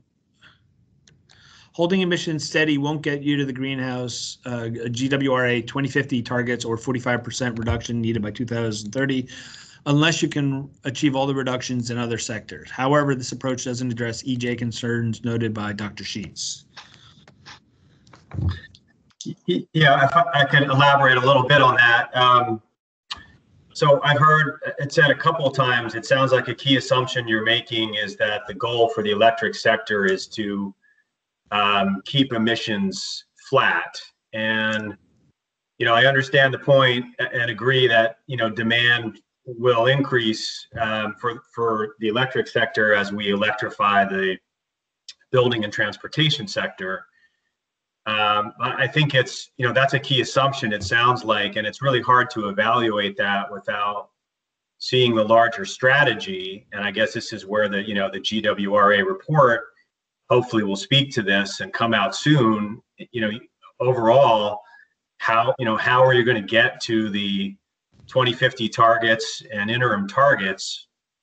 Um, and can you really get there with um, maintaining level emissions in the electric sector that i mean it just seems dubious to me that that's going to be possible. Um, and and to the timing issues it seems like you know reducing emissions in the other sectors i think is going to take longer. I mean it's just you know to electrify the building and transportation sectors is is going to take time. I mean you're talking about the the decisions of you know um, millions of individuals, whereas in the electric sector, would seem to me that it's possible to make more progress in reducing emissions in, uh, you know, sooner, um, and that we should be focused uh, over the next 10 years in not just um, keeping those emissions level, but actually achieving emissions reductions uh, in the electric sector in a way that's also going to bring, you know, benefits to to to to EJ communities. Um, so that's just sort of a bigger. It's kind of the bigger picture. It's really hard to evaluate what you proposed here without understanding that that bigger picture. Um, and if I could just make one more comment on the leakage issue, uh, it seems that the trick there is setting the um, limits and ratcheting those limits down in a way that finds the sweet spot that you're you're reducing emissions or taking offline the most polluting plants while at least in the near term leaving those cleanest cleanest most modern burning plants operating because um, it would actually be counterproductive in the short run to ratchet down those plants because that's just going to push emissions it's going to push generation likely out to dirtier, uh, less efficient plants, you know, elsewhere in the region. So it's it's a matter of kind of finding that sweet spot. Tom, Tom, let me let me uh, address your second comment first because uh, I don't want to say it's the easier one, but it's the one that's a little more straightforward to me. Um, the, the concern about being aggressive but not overly aggressive is the challenge. Um, how, how, how do we be aggressive without putting our our businesses in New Jersey at a, a non-competitive advantage, where the power just gets imported from something potentially dirtier to our west. Um, and it is what we struggle with on a regular basis of in not just the EGU world, but in all the rules that we do. Um, so it, it is it is a challenge across the board, um, and and and that sweet spot that that you talked about may not be aggressive enough for meeting the goal. Um, and and that's where you know we have to we have to figure that out, and we have to work with our counterparts um, in BPU and CSERB. Um, and for that matter, we have to work with our counterparts in Pennsylvania and Maryland and Delaware and all those upwind states. Um, and sometimes when I'm saying work with, it means uh, sue them.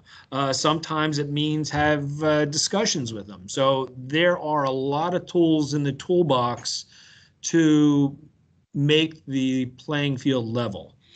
Um, so so the that that's kind of my answer on leakage. Um, as far as keeping the emissions flat and keeping the focus on EG reductions, I get it, and, and I and I agree. Uh, even in the 2050 report, uh, th- there's statements about um, needing all the existing power sources, even in in, in the uh, uh late stages, close to 2050. What they see is a feedstock into the natural gas pipeline of renewable feedstock. Um, so instead of maybe importing uh, natural gas from the west, uh, maybe there are natural gas generation plants from sources throughout New Jersey, from the wastewater treatment plants, from the landfills, from these uh, uh, various sources of generating renewable natural gas and renewable gases. This is this is the laid out in in the energy master plan um, and uh, and you know keeping it flat is an idea is an ideal. Um, I, I i do hope there are reductions. Um, i think uh, the shutdown of the dirtiest of the plants will have an effect. Um, uh, but over the long term we have to think about the energy demand. So uh, the energy demand increase. Ken can you hear me? Yes now we can. That's hannah's back. Great. Yes, Hannah's back. Okay, sorry about that. Um, so it sounds like I missed some really interesting conversation uh, while I was dialing back in, but I did want to clarify that the EMP, largely to the extent that the gas plants are still active, you know, in the later years, it's largely for balancing purposes. So I did just want to clarify that that even within the EMP and even retaining some of these gas plants, it does presume a drastic reduction in emissions because it is met by new renewable builds, and you're really just using the, those gas plants for those uh, really not only low renewable days, but really low renewable you know weeks and seasons when your battery storage isn't going to be enough. And of course we're also recognized we're looking 30 years out and a lot could change in the next three decades. Um, so i just did i did want to make that clarifying point. Um, and i don't want to overspeak since i know i missed some really critical conversations but um, happy to jump in again if uh, if you need me. Yeah, so, so Hannah, the discussions were on energy efficiency, which I think you've touched on, or and BPU is the lead on that. Um, we talked about the the need for the existing power plants to stay online, um, and maybe it's going to be a shift in their fuel source from, uh, you know, uh, virgin natural gas to renewable uh, gases. But uh, you know, it, the need for the existing power power plants to stay online is is the question that's being asked right now, and and keeping those those emission levels static or even a slight decline is not enough. Is do you want to kind of address that? Sure. Um, well, I think there was um, an intent that at least existing plants right now would probably stay online, but that's not to say that they would be run at the same capacity that they currently are over time. Um, so so I, I think there's definitely room. I mean, I at this point, like meaning today, this year, I'd be more concerned about leakage and whether our efforts were being counterproductive um, while we are still working through how this affects our participation in RGGI and being a member of PJM. Um, but I mean, I do think overall that certainly you know there is room to to cut down emissions certainly starting with the dirtiest plants and using this rule to um, to accelerate the renewable builds as well because the renewable build should also whether it's in New Jersey or PJM in general should be able to displace some of that dirtier generation throughout PJM because it's cheaper. All right. Um, I think we've answered the questions on energy efficiency and on some of these uh, the uh, our reports um, that are that are coming out um, and how we're dealing with that. Next comment is from Ken Dolsky. Here's an idea, have the DEP stop logging our state forests and diminishing our ability to sequester carbon. Um, I do know land use is going to be having uh, a series of stakeholder com uh, meetings and uh, maybe a better uh, comment or suggestion for them, but I will certainly share this comment with them. Uh, I am not by any means an expert on logging in in in the, in the state, so. I just want to say this is just out of total, absolute frustration that the DEP is allowing the Audubon Society to run the state and allow logging while at the same time trying to tell us that it's going to improve uh, uh, sequestration. It's I won't use the four-letter words that I want to, but it's just it, it, it is it's blasphemous. Okay, I'll leave it at that. Okay. Thank you. I will, sh- I will share your comments with the land use folks, though. Um, Mike Russell is responding to Matt. This is something we'll be looking at as we work on the impacts. Are you okay with reaching? Okay. Mike, you'll follow up with uh, Matt. Thank you. Kim, um, Kim Scarborough, uh, as the DEP depra- department, uh, as the department prepares for its analysis on any potential emissions tr- reduction strategy to evaluate leakage and reliability, will there be an opportunity to comment on the assumptions that will go into the modeling? Um, Kim, I, I don't know if you have anything else you want to say on that uh, before before we respond. I just know when the BPU was doing its um, most recent update to the EMP, um, there was an opportunity to comment on the modeling assumptions. Just trying to figure out whether or not DEP has something similar in mind. All right. Um, we haven't gotten to the point where we are doing the modeling. Um, Bob Kettig and CSERP and Hannah from BPU, if there's modeling done, would be the uh, modeling group. So, uh, Bob or Hannah, do you want to comment on that? From a rule writing perspective, we would certainly share any of our thoughts and ideas and assumptions. Um, yeah, hi, this is Hannah. Uh, Kim, I can I can get back to you. I know that, and and Bob, feel free to jump in. You might be more um, more in tuned with the latest uh, modeling that we're doing for RGGI, um, but I can certainly get back to you on that one. Okay. Yeah, thanks. I- I mean, um, yeah, this is Bob. Sorry. Yeah, um, yeah, Kim, certainly, um, as we, you know, move forward and, you know, we're looking at the impact of, you know, not, not just the CO2 rule issues we're talking about today, but just carbon pricing and RGGI in general. Um, you know, modeling is a, is a continuing component of the RGGI program. And, it- you know, it has been since its inception to understand the implications of the policy and carbon pricing and the impact that has on uh, electricity and potential dispatch shift.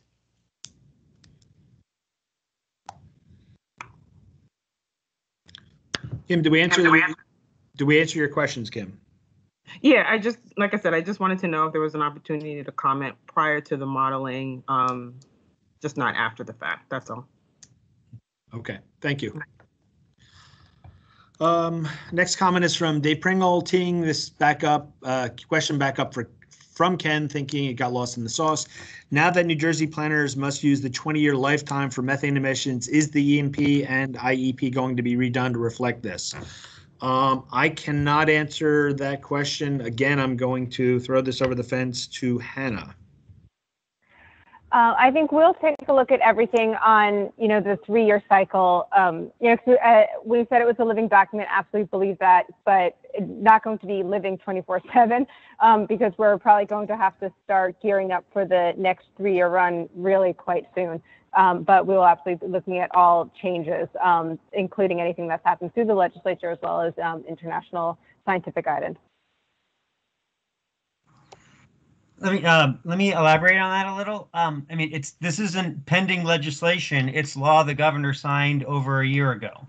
So um, yeah, don't expect the the plan to get updated immediately, but um, there seems to be a very large disconnect uh, throughout the administration from the governor's signature of that bill to implementing it. Obviously, we're not going to go back and immediately revise the energy master plan, but um, you know, we're now six to nine months into rulemaking here, and yeah, we, we have yet to hear the administration really acknowledge, let alone say how they're going to implement this, this law that's absolutely critical. That's, that's directly at the heart of this initiative.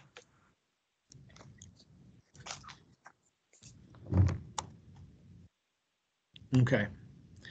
Um, I, I think it's, you know, in, in my, my answer to that, um, uh, Dave, is it's, it's going to be, at least from the DEP perspective, it's going to be done in pieces. Um, and where we are a piece of the puzzle, we will certainly plug that hole or put that puzzle piece together. Um, how it fits in with the overall plan, I, I, I can't give you all the specifics because we don't know. Um, and, and it is a moving target, uh, uh, but as, but as far as the energy master plan, that we, we, uh, rely on our counterparts. Right. Um, but it certainly does drive our decisions. What, what's driving DEP rulemaking here isn't just the energy master plan, but the Governor EO 100 and the PAC rules overall. And methane is a critical part of that. Um, and that, that's obvious, as is black carbon. We haven't even talked about black carbon yet in this, and I know this is perhaps farther afield from this particular rule, but, you know, with, uh, you know, if, if it's not appropriate here, you know, DEP needs to be put on notice that, you know, there, are a lot of other these pieces that you're going to be having conversations with later today and in, in the next couple weeks. You know, if, if you're not talking 20 year time horizon in the, these rulemakings, especially with black carbon and methane, um, you know, you're setting yourself up for a whole lot of trouble. Understood. Yeah, Uh, this, and I, this is, and- this, this is Ken Dolsky. I'm sorry, I'm just gonna jump in real fast. If you don't at least do the math with the twenty-year time frame, you don't know what your targets are. I mean, you don't have to rewrite the whole EMP, but just update the emission numbers so you have accurate data as to what you're shooting at. You, know, you're underestimating GHGs right now, and then ten years from now, you're gonna find out, oh, well, we, we had the wrong target. Sorry. That, that's all right, Ken. Thank you. Um, I just lost my train of thought. Um, we, we are, we are working within the scope, uh, of, of every, every, everything you, you said, uh, Dave. Might, you may recall my opening slides from this morning referenced the EMP, it referenced the EO 100, um, and, and, and the PAC rules are driven based on both those documents. And I think you'll find a sprinkling of the methane and, and short-lived climate uh, pollutants uh, kind of discussion throughout, more so in some other discussions than this power plant sector discussion.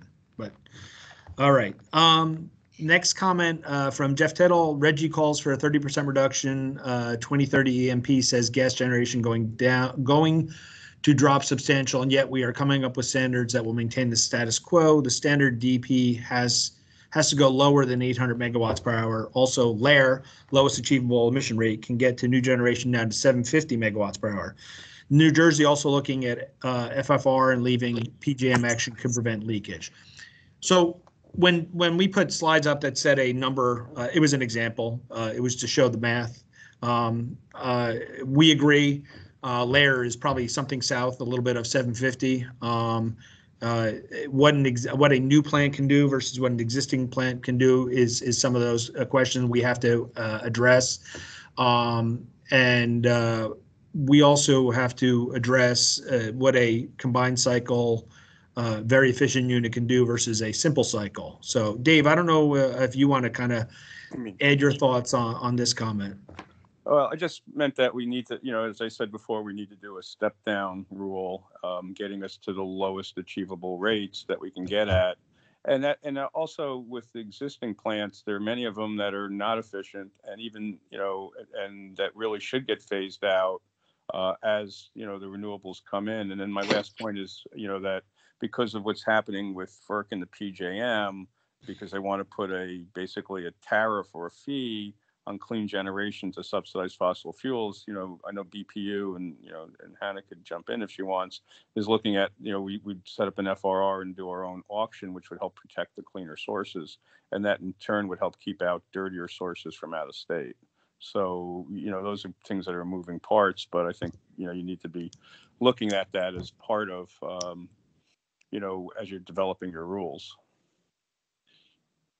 Yeah, and standards. Thank you, Jeff. Yeah, and I, I, I don't want to get into high level politics, but um, it, it is a, a challenge to move New Jersey forward when uh, so many things seem to be going in a different direction, uh, which makes it all, all that much more difficult. So, um, Dave, did you want to add anything to that? Dave Owen? Um, no, I mean, basically, like I said, the, that eight sixty was, was a, an example. I mean, it- it's not a number that's, you know, being set in stone. You know, we could be lower, we could be higher in the end. Um, and that's, you know, one of the purposes of this, this discussion is to try and get a feel as to what that number should be. And as Ken alluded to, whether uh, we should have different limits for peaking units at, than for the, uh, you know, combined cycle units that operate at a much higher capacity factor. So, um, you know, that's just what I wanted to say. All right, um, Eric Ford, um, how does this impact re- reliability for the electric and energy grid and needs what, and what lessons learned are being used from California's current blackout? Um, I, I cannot answer any of those. Um, I, I, I would defer, I'm not even sure Hannah or, or, or Bob can answer those. Um, but one of the things I, I did say earlier, there will always have to be reliability considerations put into any rulemaking. Um, there's always going to have to be emergency provisions put into any rulemaking. Um, so that that that's kind of what I, I I I will I will say from the rulemaking perspective. Uh, Bob or Hannah, do you want to add anything to that? Uh, I would I would really view these as two you know re- related but separate conversations. We are still currently part of PJM. You know, I mean, PSEG is on the line. We have um, huge mandates with respect to reliability. Um, so I would not really be concerned at this point that you know tightening the requirements for greenhouse gas emissions from our uh, fossil fuel burning units is going to be uh, a huge problem at this point, especially while we are still you know part of the grid, uh, considering FRR as well as ramping up renewables and storage. All right. Um, there are no more comments in the comment field. There's no one raising their hand, but but I will say we, we we've heard a lot from the environmental side. I I do want to hear and have a open air discussion. Anything on on I know there's a lot of EGU personnel on the call. Uh, anything you want to say? Anything you want to share? Any any concerns with this approach? Uh, any better methodology? Uh, I'd, I'd like to keep this an open dialogue and, and have a back and forth discussion if at all possible.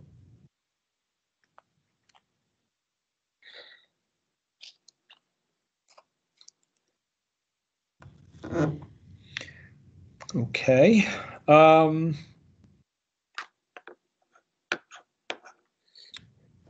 well, what we're going to do, uh, if if uh, we don't have any more comments and there's no raised hands, oh, there's a raised hand. Hold on a second. Let me get there.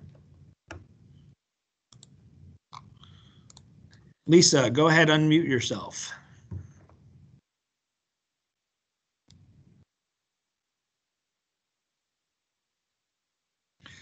Lisa, if uh, do you know how to unmute yourself by hitting the microphone on the uh, toolbar?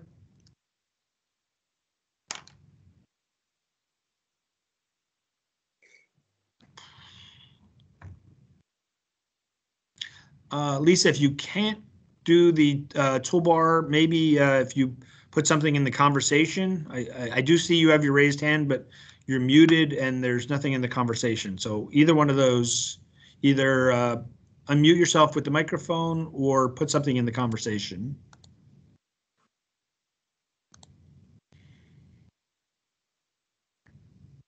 All right. Uh, I don't think I can unmute you, so.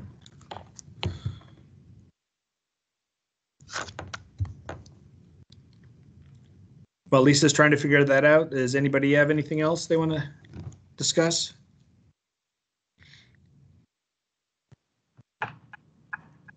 This is Kim. I guess I'll just jump in again.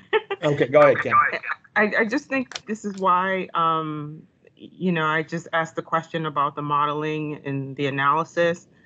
I, I think once we understand what the potential impacts could be for whatever emission reduction strategy that you're thinking of, I think we'll be able to provide more informed um, feedback.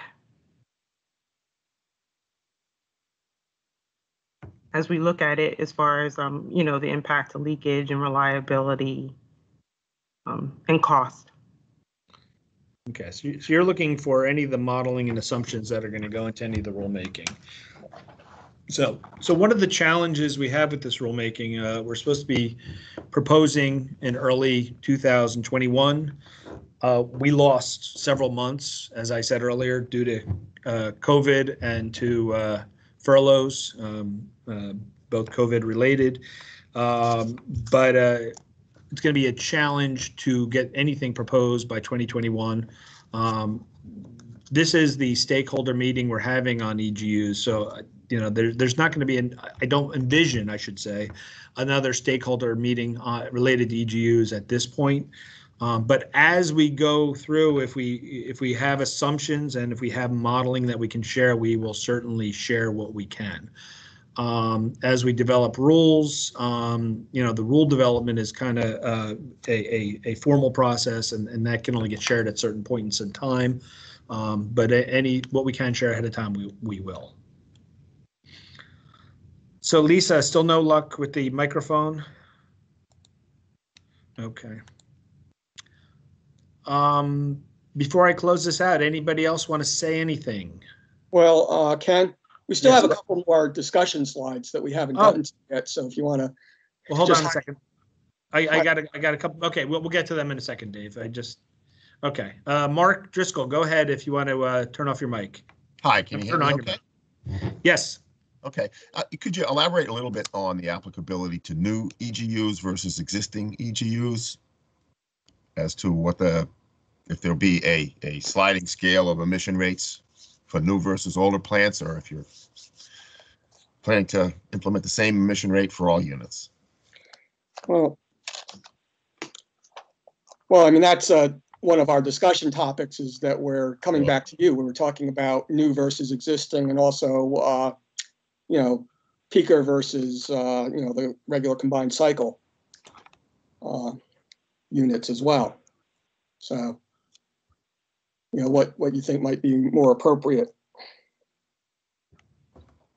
So, so Mark, I, I think the answer is there's probably, what makes sense is, is multiple emission limits based on the type of unit and its existing or proposed status.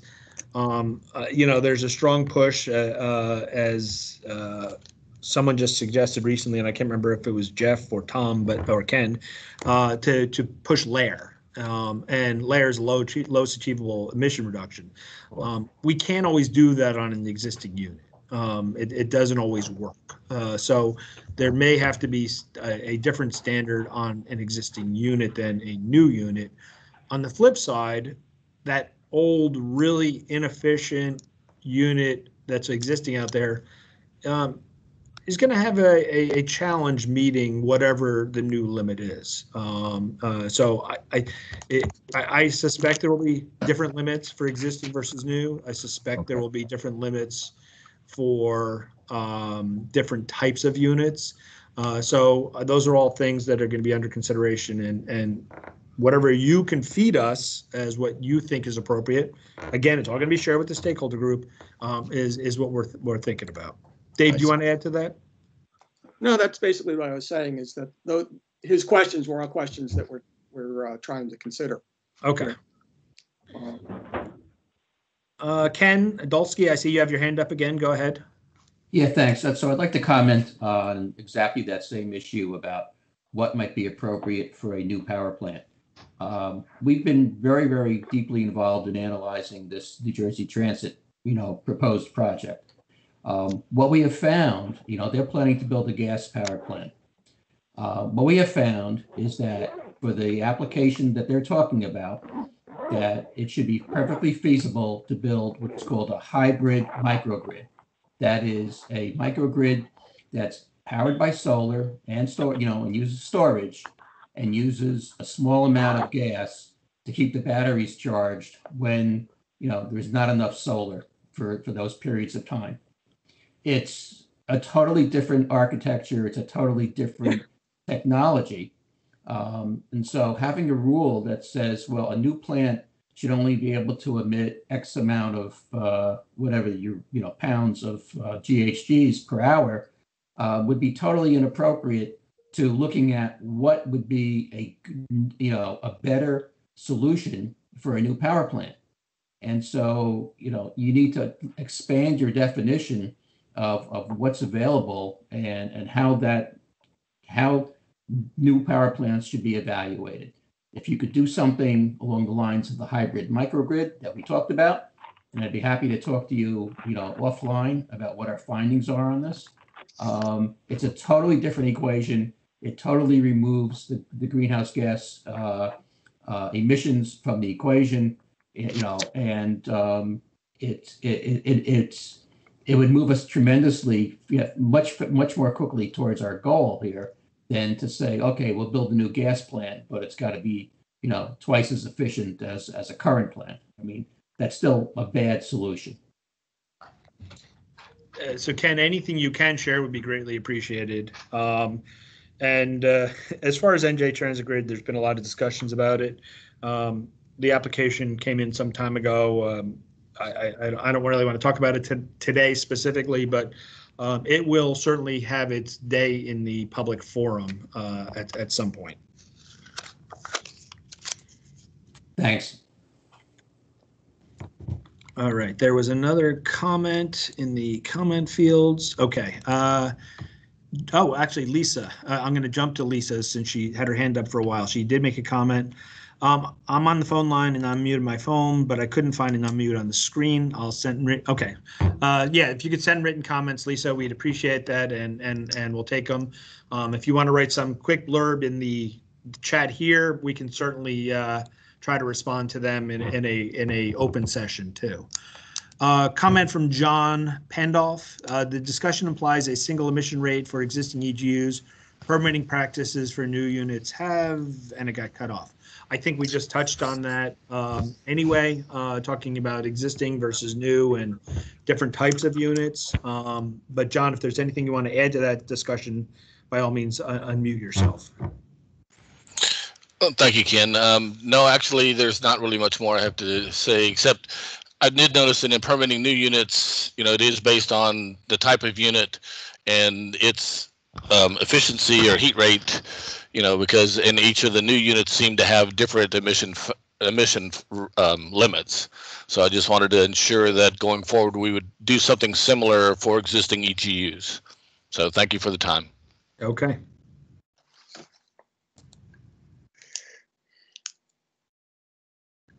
Dave, why don't you cover the balance of what you wanted to talk about? Okay, why don't you go to the next slide, Heidi?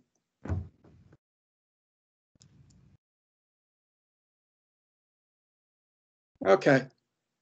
Now, the next topics, you know, that I envisioned was, uh, you know, how would we allocate renewable generation to an EGU? And we had the questions of installing new renewable generation at a facility. Uh, may work in a few cases, but not in all. Uh, you know, building new renewable generation elsewhere in New Jersey, New Jersey, and becoming a partner in uh, new renewable renewable generation projects in New Jersey.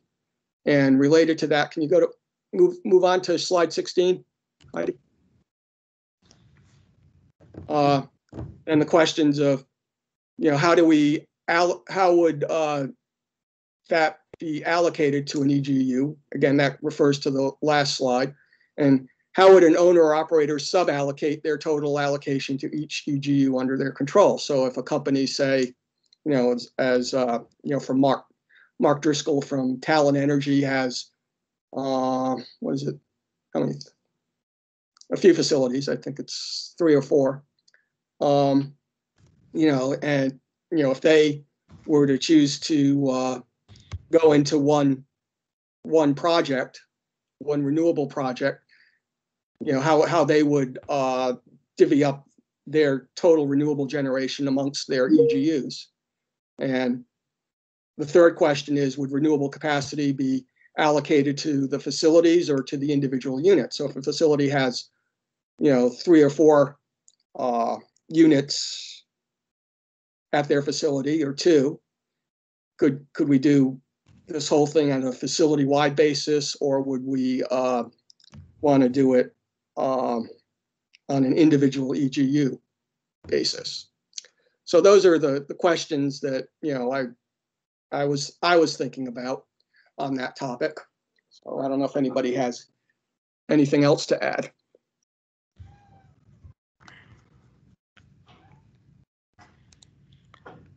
And I acknowledge this uh, whole concept may be at a left field to a, to a, a lot of the power facilities. Um, maybe even something uh, Enviros didn't consider us uh, thinking about. Um, but you know, th- this has a very what we think a very positive effect on promoting and endorsing and pushing the renewable energy portfolio in New Jersey. Um, so, you know, the devil's always in the details and and how we get there. So, um, feedback on this uh, w- would be hugely beneficial. Go ahead, Kim. I see your hand up. Is there a reason why it's only limited to New Jersey and not within renewable, new renewables within uh, PJM? That's a good question. Um, our, our, uh, some, some of the, the reason we, we originally, when we had this discussion, we said New Jersey, uh, and it gets back to something Nicky Sheats said earlier. Um, if we're, if we're gonna do mitigation, uh, preference is always nearby. Um, and, you know, I, I use the example of a Newark facility and a, and a Newark rooftop slash parking lot. And, and that was semi-intentional to share the thought process of nearby is desirable. Now, you can argue and easily make the argument CO2 is a worldwide issue. Um, the CO2 emitted, atom emitted in Antarctica has the same effect as one in China versus the United States.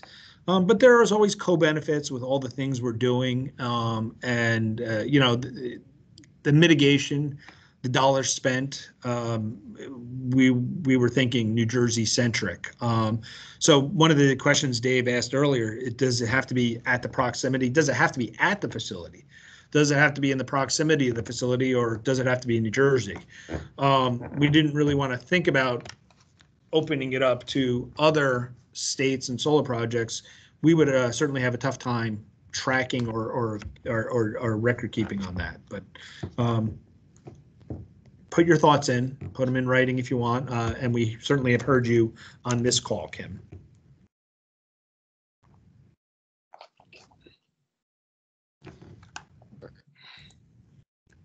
Um, FYI, if you uh, read the chat, um, Hannah has posted um, uh, an announcement uh, about BPU holding a technical conference on sep September 18th.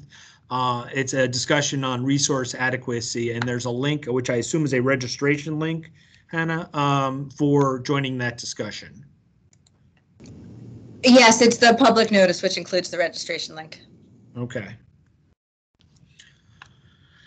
Um, Christine, uh, oh, Christine reminded, I, I, did say it earlier, but for those of you that have only done the phone call in, there's no way that I can identify if you have a question, but if you want to star six, uh, you can unmute yourself and just break in during a lull, if you will.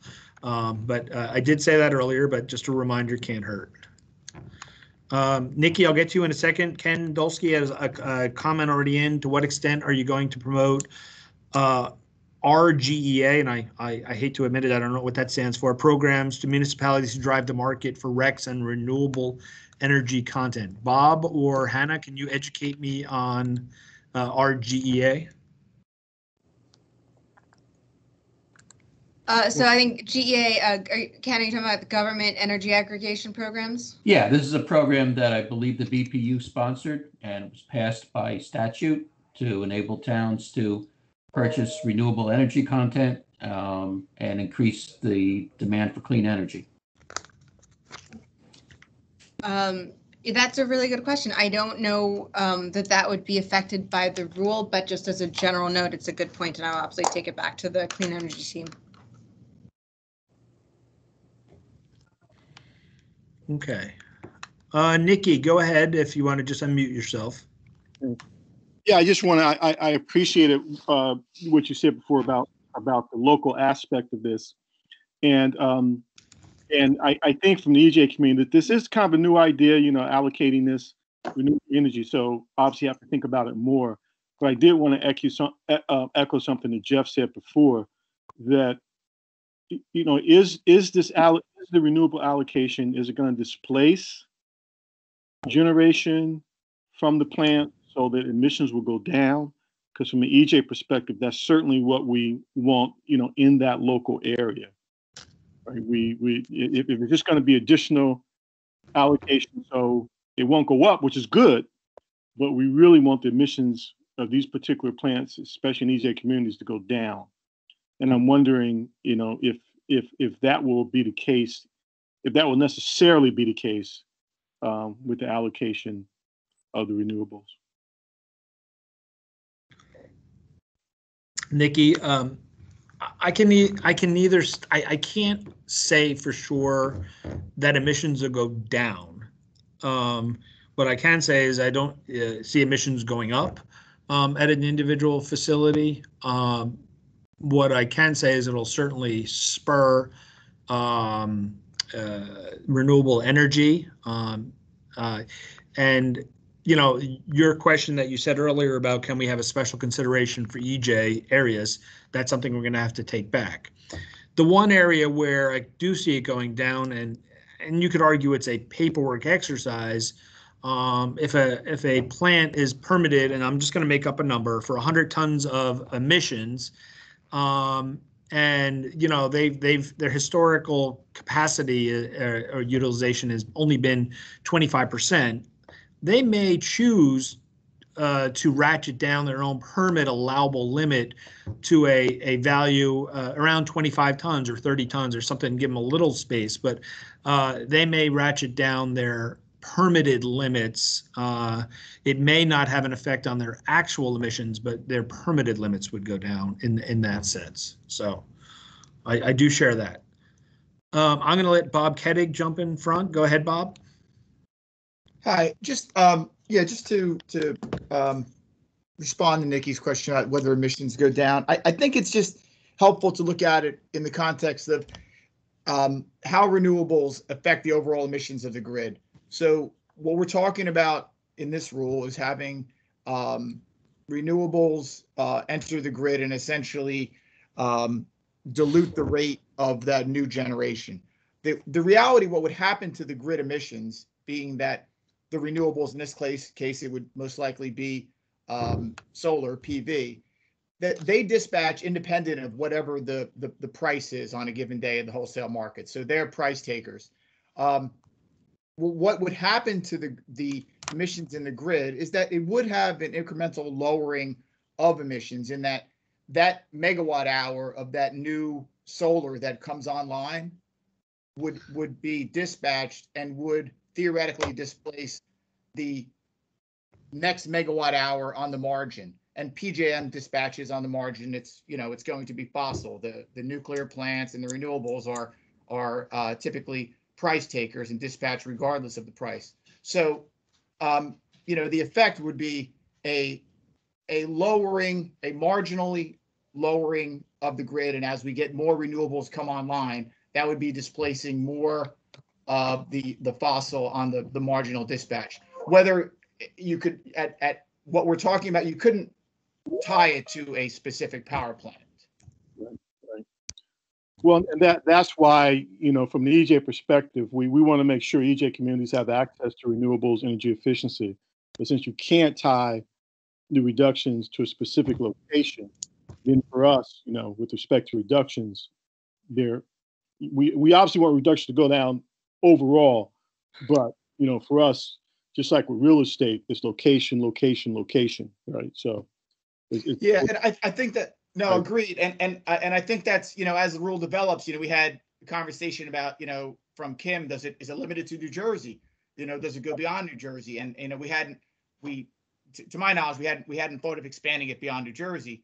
But, um, yeah, understood. There's that conversation that to, to have it, um, limited to a geographic area and provide opportunity for, you know, that community to, um, have some of the more, um, um, localized benefits of, of, of installing the renewables to whether expanding it throughout the state. I think that that would be part of the rule development where to draw the boundaries. But just regardless of where you put it, if it dispatches to the grid, um, it's going to have the same net effect that it's going to displ- displace that that marginal that marginal dispatch. If you displace it, if it's behind the meter and it was taking the place of like on-site generation somewhere, um, then that's a different story. That is actually displacing, you know, a generator on site.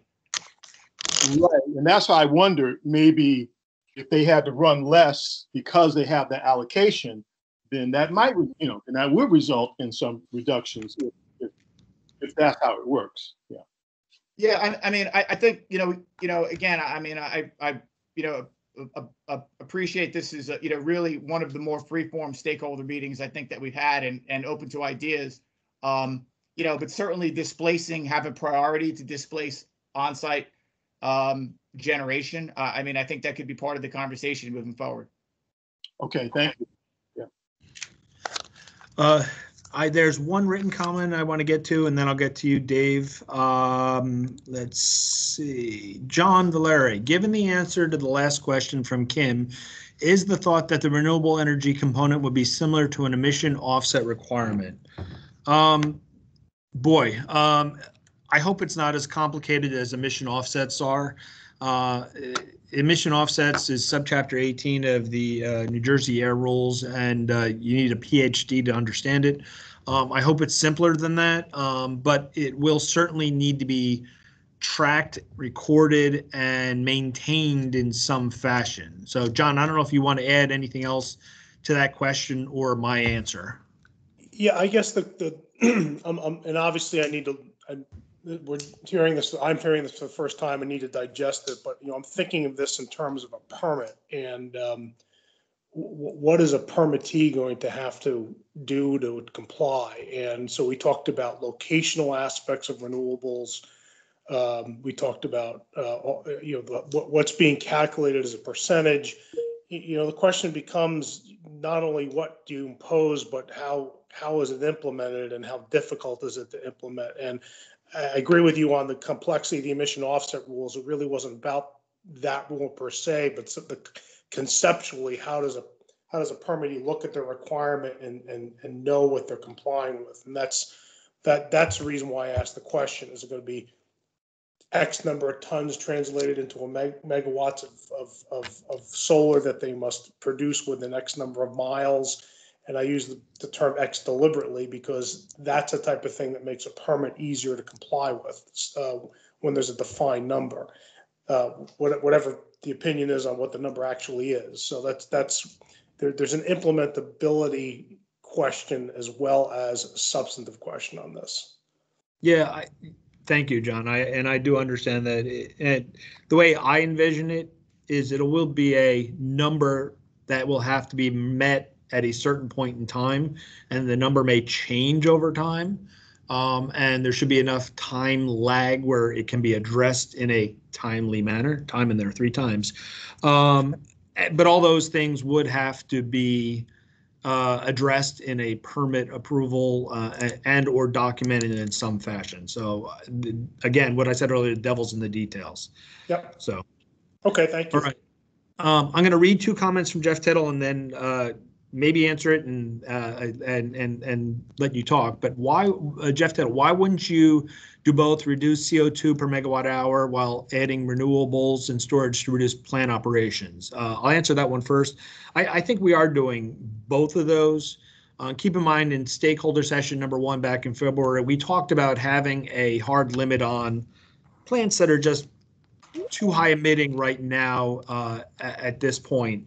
Um, so there will be a number that we're going to guess that just can't be met by certain plants without overly costly controls uh, or some kind of uh, crazy technology that that isn't out there yet. Um, Um, they will have the option of building solar to offset, but I, again, I think it would be too big a lift for, well, actually, no, that is a hard cap. I don't go the solar route. Uh, so, and then the second would be the promoting the renewables for those where they're marginal or even efficient plants uh, over time. So I, I think we are addressing both. Um, and to your second question, this uh, or comment, this could be targeted to overburdened communities to meet cumulative impact legislation. Um, I, and you called it cum- cumulative impact legislation. I called it EJ legislation. I think it's the same thing.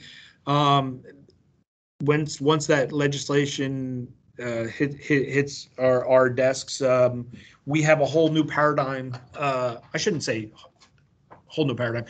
A lot of us already think in that paradigm, um, but how how we address overburdened communities um, and cumulative impacts uh, will be part of the discussion. Um, and anything that was said today is actually taken as part of our notes and part of our feedback. And, uh, you know, we're going to vet this with senior management and say, here's some of the ideas and here's some of the thoughts um, and, and where do we go from here? So all this is feedback. So Jeff, I don't know if you want to unmute yourself and say anything further uh, Yeah, to I what just you think that- I.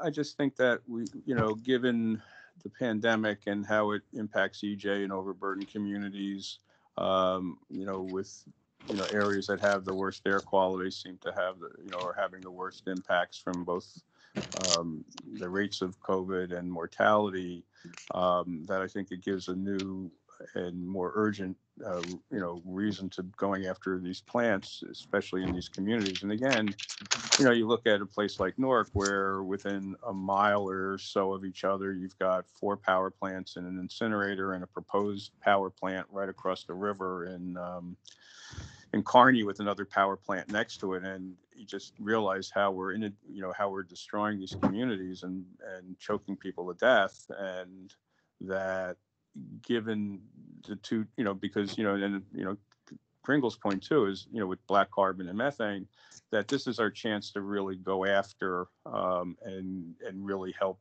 to reduce pollution in those communities by one reducing emissions and two by replacing um, generation with renewables so that we can reduce emissions even more. And i think you know when you look at you know once you i mean these com- you know many of these communities in the state and you know are not only f level but the air is you know unhealthy. Um, and so this is a way of trying to get at that and provide equity in uh, in electrical generation.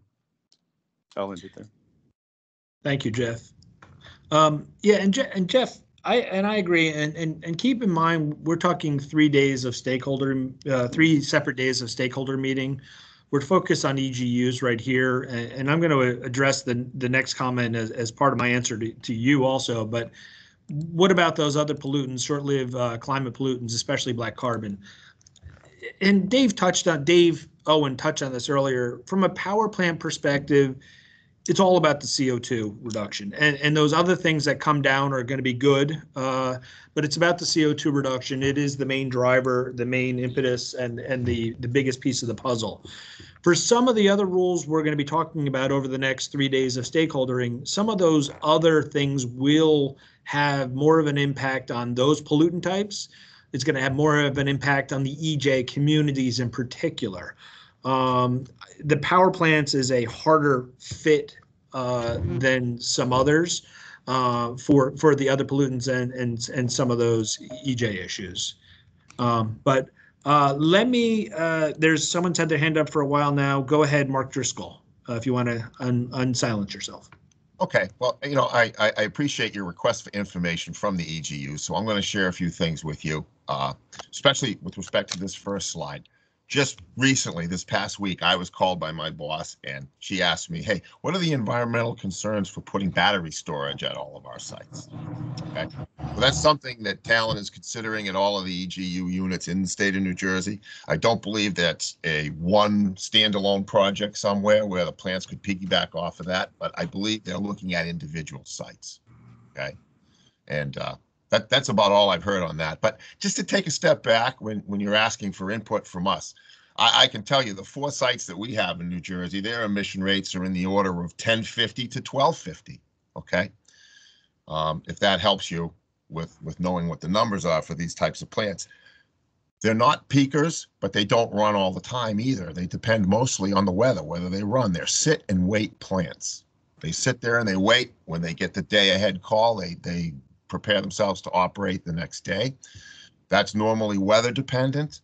And then, of course, in this day and age, it's, it's it is somewhat financially dependent because gas is at a very very low price now. So they do get dispatched a little more often than say over the past several summers because of the low price of gas.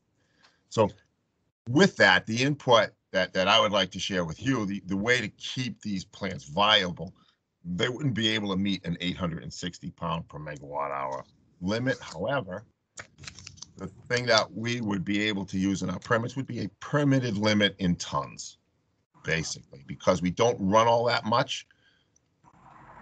So for plants like this to remain viable in, in the electricity market today, that's what would be necessary, is some sort of finite limit on tons, maybe per season or per year. Mark, do you mind if I ask uh, just a couple follow-ups? Um, I, I hear you loud and clear, and uh, you're not a peaker. You're a peaker light, maybe. Um, uh, uh, but you, you have some some challenges, and and it, the ton per year limit is is something you could work with. And and we Dave and I talked about it earlier, but putting your capacity factor into your permit uh, would essentially put a ton per year limit on there. That's right. Um, and and you'd have a little less to overcome in the denominator on Dave's discussion uh, Right. for procuring uh, renewable or building, you know, getting new new uh, renewable energy out there. I, you know, the, the battery discussion is is interesting to me. Um, you know, if if if the batteries were to happen, you know, how what would be your thought on how you would be charging those? W- would you be filling in the valleys in lieu of these plants? What what are your thoughts on that? Yeah, I, I don't know the answer to that at this point. I have very little information. Um, it, it- it's something that's just kicked off. As I mentioned to you, I, I just got the call this week and was asked the question. Okay. So, but what I did find out is, is they're small. They don't last that long. You know, the batteries, I, I think the packs last between two and four hours, you know, at, at a 20 megawatt level. So there's, there's a lot of more homework to do on that. But what I can add to the description of the plants, remember they're they're cogeneration units, but they're combined cycle. So they don't start up quickly. Mm-hmm. That's that's their biggest disadvantage. It takes there's there's four sites. It takes anywhere from say two to four to five hours, depending upon which site you talk to, really get up and get steady state. So when they are dispatched, they're not peakers. They don't run for an hour or two. They'll probably run for maybe a minimum of six or seven hours to a maximum of maybe 12 to 14 hours, depending upon how hot it is that day. Yep. Yeah, we've we've we've done a lot of analysis of the um, um, oh, I can't remember the data source now. The uh, all, all the P, all the uh, emission data from uh, the power units, uh, CAMD, CAMD data, and, and and we do analyze those peaks and valleys of individual individual units, and we do see how much is uh, used and and looked at uh, uh, how much it's used on a on a regular basis. So thank you though. Okay. All right, um, let me see. Um, oof. Dave, you have your hand up, uh, Dave Pringle, that is. Um, and you have a couple comments. Uh, you talked about, uh, the 20-year time horizon. Again, we, we had talked about that, and I think I addressed your comment about the short-lived, uh, climate pollutants and especially black carbon. Doesn't fit real well in necessarily with this rule, but it will certainly come into play with some of the other rules um, that we're going to be discussing over the next two and a half days of uh, stakeholdering, half day today and, and the next two over the next two weeks. Is there anything else you wanted to add to that discussion, Dave? Um, just, um, it might not be a major source, but it's still a significant source, both from a chronic health effect perspective. This is black carbon coming out. Even when you're burning methane, you know, you're, you're emitting soot. So this seems to be an, uh, an opportunity to go with what, what Nicky was talking about, um, going after co-pollutants too, um, especially when you factor in, you know, black carbon's impact in terms of a short-lived climate pollutant. So, um, you know, are, are you saying you're not going to be looking at black carbon at all through the through the stack rule? Um, because it's and and and if so, the reason that is you're making the determination that the vast majority of soot is coming from somewhere else, not not a smokestack? No, no, not not not quite. Uh, what I was saying was the rule driver, us doing something or not doing something, is really going to be driven based on the amount of CO2 emissions. Um, any benefits or costs um, will certainly account for all those other pollutants. And, and Dave did talk about those. There's still the methane releases, there's still uh, N2O, the nitrous oxide emissions. Um, any of those other co-benefits would still be accounted for and addressed um, as, as far as what we're doing in the rule. But it, it what I was suggesting was CO2 is driving the need for power plants being addressed. Um, the other the other pollutants are of concern. CO2 is the biggest concern at power plants. That, So- so, So, so part of the rulemaking will be analysis or modeling that will, by, with, with CO2 as the driver, uh, along with that, that, the driving down of emissions from CO2, there will be some commensurate additional reductions with additional benefits and costs that will be, be evaluated throughout the rulemaking. we we always account for. I shouldn't say always. We generally account for any of the secondary uh, contributions uh, as best we can. So if there are co-benefits, we will try to uh, account for those um, and, and address those.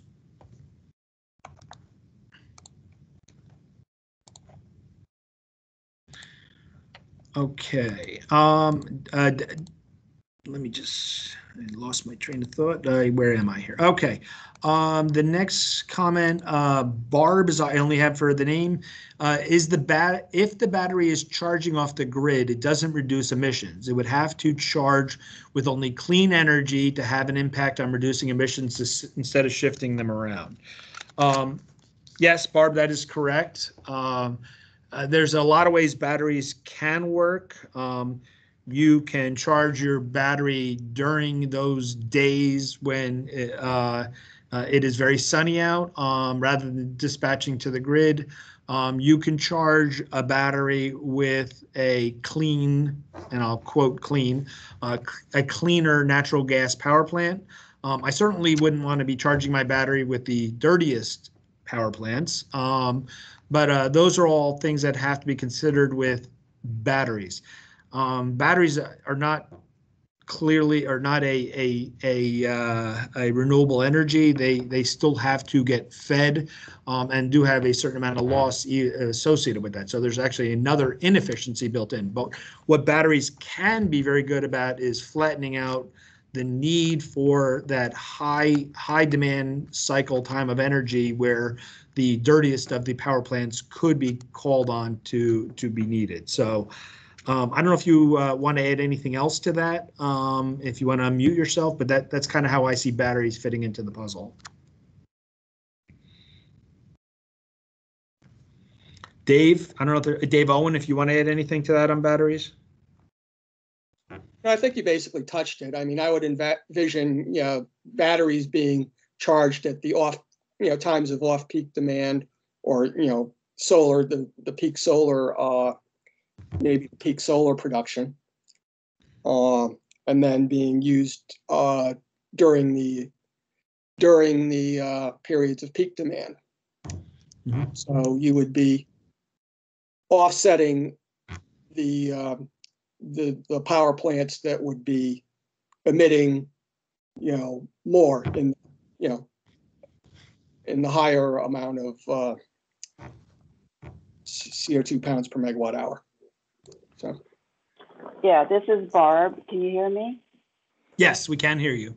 Okay, so this is Barb Blumenthal. Um, so the modeling that you were describing could be used to pinpoint the location. It isn't just put batteries anywhere. It's where do they belong, where they have the greatest impact.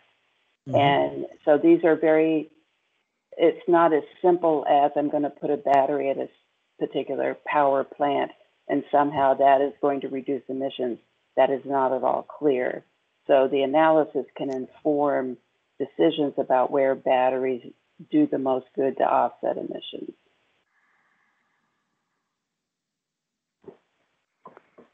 Is that what you were thinking, that the analysis would get into that kind of uh, granular detail? Um, that wasn't what I was thinking, but it is a very good point. Um, and that would probably be something we'd need help with from BPU and or CSERP, our, our sister group, to do some of that modeling. Um, in a general sense, um, if you have peaking units throughout the state, uh, kind of copying the New York City model, you could hypothetically replace those peaking units throughout the plate state with battery units. Um, and they're essentially at the same locations. The grid works now. It should work if it's being fed by the combined the simple cycle, or it should work based on being fed by the battery. Um, but yes, there would probably have to be some kind of further analysis to see are we putting these things in the right place. Hi, this is Lisa. Oh, Lisa, can hear you. Thank you for the star six instruction. Okay. Um, I just figured I'd chime in here since one of my comments was about this storage issue. Um, when Ken Dolsky brought it up before, the the idea that came up in my mind was that um, the uh, possibility of encouraging storage might be linked to those peaking units um, that are the higher emitters, um, basically to allow their continued operation because they might be needed. Um, maybe there could be a separate standard or step, separate requirement away from this pound per megawatt hour standard that would um, tie in the uh, to to the extent that the standalone pound per megawatt hour rate of the unit is above a certain line that um, you then have to have a certain amount of compensating storage to to help um, basically eliminate the need for that unit coming on at various times. Um, and I mean, this is all off the top of my head, but um, I think it would need to be separate from this, you know, the renewable portion of this pound per megawatt hour standard. I th- I Um, think. Oh, go go ahead. I'm sorry. Now, now you could add on there. Okay. Yeah, I, I think batteries are a separate and distinct animal from renewables. That's that's a clear statement. Um, I think the thought process or the thought of having these batteries in or near places where the peakers are makes sense. Um, I, you kind of just alluded to that. Um, but how we do this and how we permit it, uh, boy, I want to hear people's ideas. Um, um, the last thing we want is uh, the the dirty uh, peaker to be running off the grid, charging a battery, and then putting the battery on the grid. I, that that doesn't help anybody with anything. Uh, but what we do want to see is is some kind of clean charge uh, or cleaner charge, uh, and then using the charge uh, release at the, at the right time when when the air quality is the is the worst. So um, those are all things to think about. Okay, to go back to my other, um, I really appreciate all the comments that have come up so far, um, especially the idea that we absolutely need a bigger picture to be able to address any of the details here. Um, I, I really like the life cycle comments also. Um, it it all comes down to what the numbers are overall and and what the goal is. Um, like Toby said, we have to know what we're shooting for if we're going to know what that pound per megawatt hour number needs to be. Um, with regard to that number and the idea that it occasionally needs to be changed, I believe that it needs to be very fluid. I mean, we should be looking at that number as a dial so that um, you're able to respond to situations where there is um, where there's too much CO2 being emitted and it's obvious that something could be done by the generators. Um, if for some reason we have a technological advance that all of a sudden makes it more possible for EGUs to do something, then you ratchet that number back and ask everybody to participate. Um, so to a certain extent, uh, talking about the absolute tons versus rates, um, if you use this rate wisely enough and, and ratchet it back as you need to, um, it will, to a certain extent, um, control the tons. And I think that point's been made too.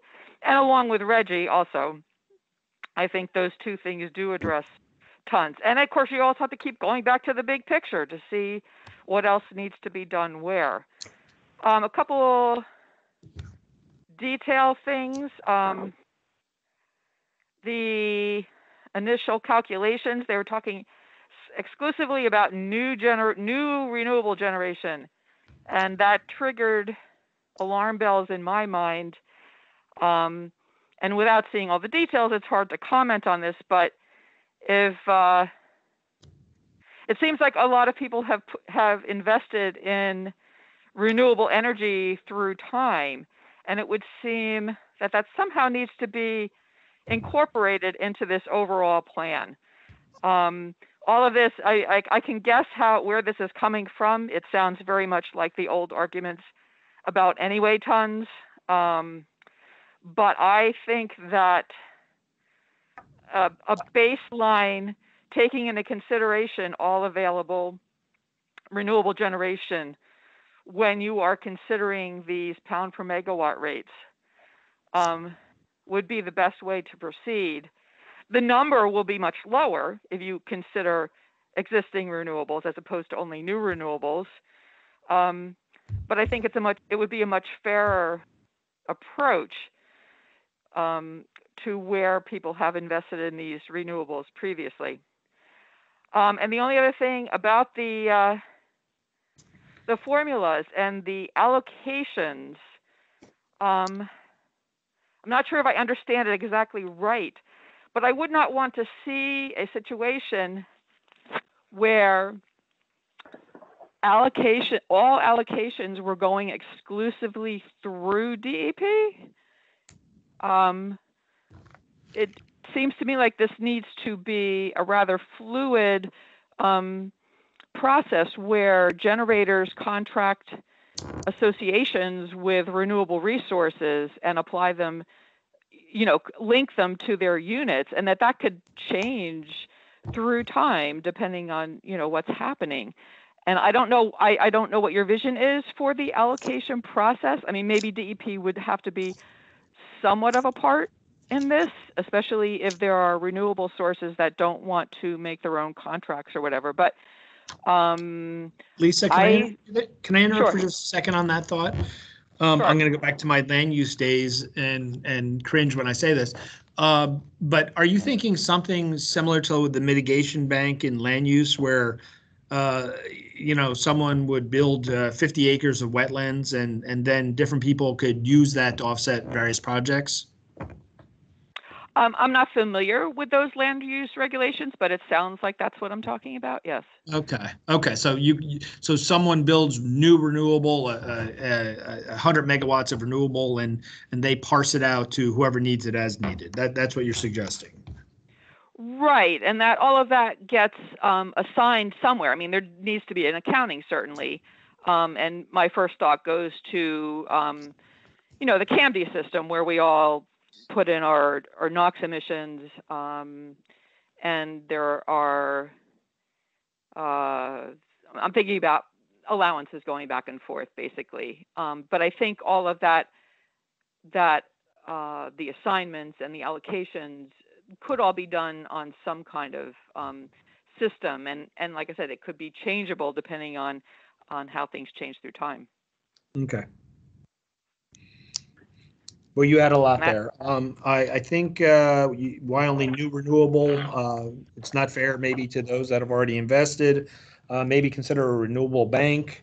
Uh, need big picture, uh, life cycle analysis you agreed with. Um, I liked your analogy on the, need to look at it as a dial. I'm, I'm not sure how to phrase that one uh, in, in a rule, but I, but I, I, I see where you're going with that. Um, you know, one, one of the things I have to highlight, and, and I probably should say this at the beginning of every session, um, I, we have, we have a rule schedule where we want to get something done and we want to get it in the books uh, uh, and, and something useful that's going to be meaningful in the short term. Complexity of rulemaking, a complexity of what we're doing makes the rule harder to get done in a timely manner.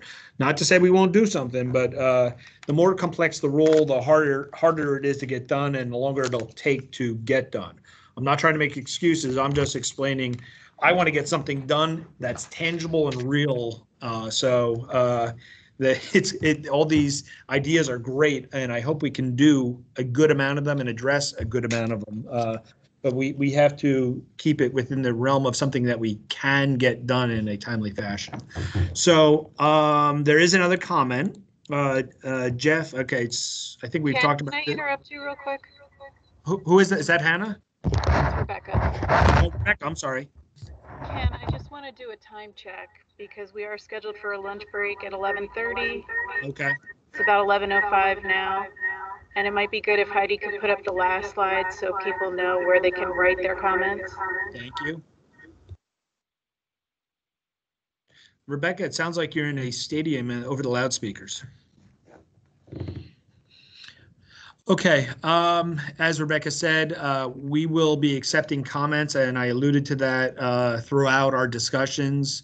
Um, if you have anything written uh, or electronically, ideal, ideally, uh, submit it uh, through this web web address. Um, we will be posting all comments online. We will be sharing everything with everybody. Um, make sure you put in the header of the email njpact.edu uh, colon EGUs. Um, as I said, we have multiple pieces of rulemaking going on. Want to make sure you get the right comments to the right people. So we have about 24 minutes left based on the time check. I'm glad we've had a very robust discussion, a good back and forth. Um, Jeff, you put a comment in, the goal needs to be 45% reduction in CO2 in the 2030 based uh, IPCC CC report. Um, okay, so regardless if it's 30 or 40 or 50, these are all aggressive goals. They're all something that's going to dictate we have to do something yesterday. Um, and this is kind of the the kickoff of, of really getting something done with the EGUs. Um, New Jersey as a whole, compared to other states, has a very clean fleet to begin with. Um, proud to say that, uh, you know, my predecessors in the permitting program have done a stellar job in, in, in pushing technology and pushing controls. Um, uh, NOx emissions are low uh, in a comparative sense. VOCs, the, every everything, uh, SO2 is non-existent compared to some other states. Um, but we still have work to do. Um, and we really have never tackled CO2 in a systematic way. This is new to us. Um, it's new to you. Um, you know, I am thrilled that companies are having discussions about batteries. I'm thrilled discussions uh, are going on about, uh, uh, you know, these solar projects uh, maybe getting divvied out across multiple um, uh, facilities. Um, these are all things that are going to have to get followed up, up on. Um, I'm gonna uh, I, I I'm gonna give one last chance for anybody else who has something to say. There's I think we've gone through all the comments in the comment section and no one has their hand raised at the moment. Um, but uh, this has been to me a very productive meeting. Um, and again, I, I apologize for the delay between round one of this meeting and round two, but circumstances well beyond our control uh, uh, delayed this. I, I would have hoped for this a, at a much sooner date. So, uh, but your feedback from round one is what drove this round two. Does anybody have any other comments or suggestions? Heidi, if you could put the schedule back up.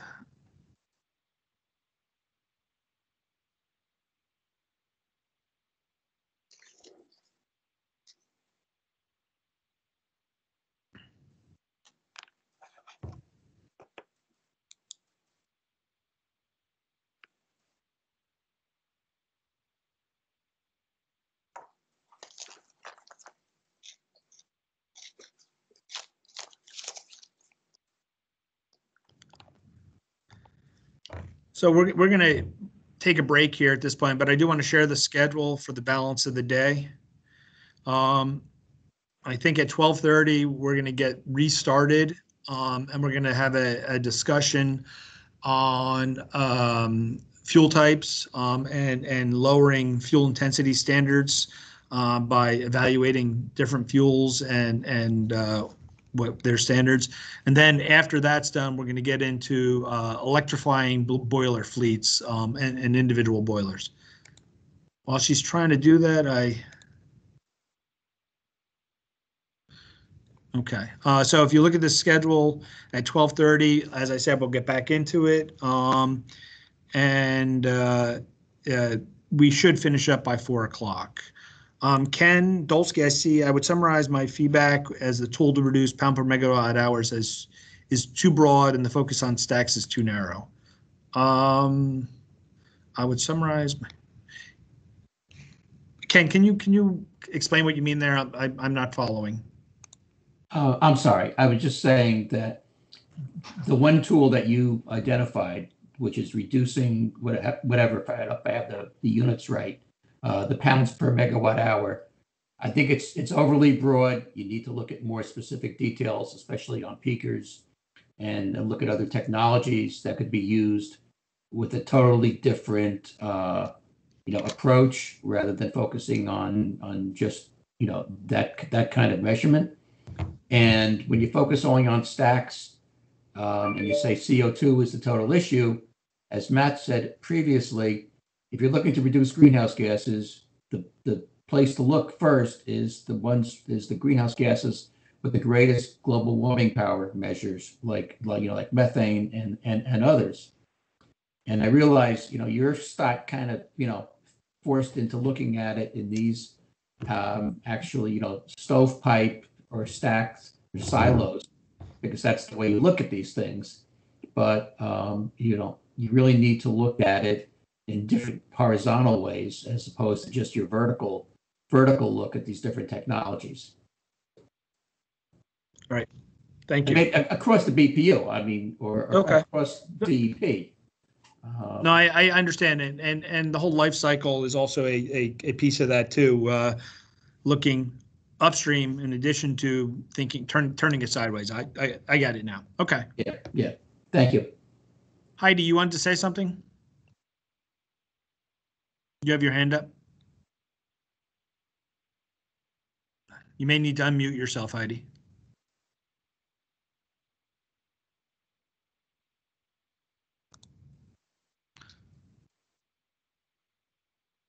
Okay, um, if there's, uh, let me just. Sorry, what do you need? Uh, you had your hand up. Oh, not on purpose. Okay, okay. I thought there was maybe something you wanted to highlight with logistics. Okay. Um, so we are going to reconvene at 12:30 and uh, we will jump into the discussion about uh, reducing highly uh, carbon intense fuels.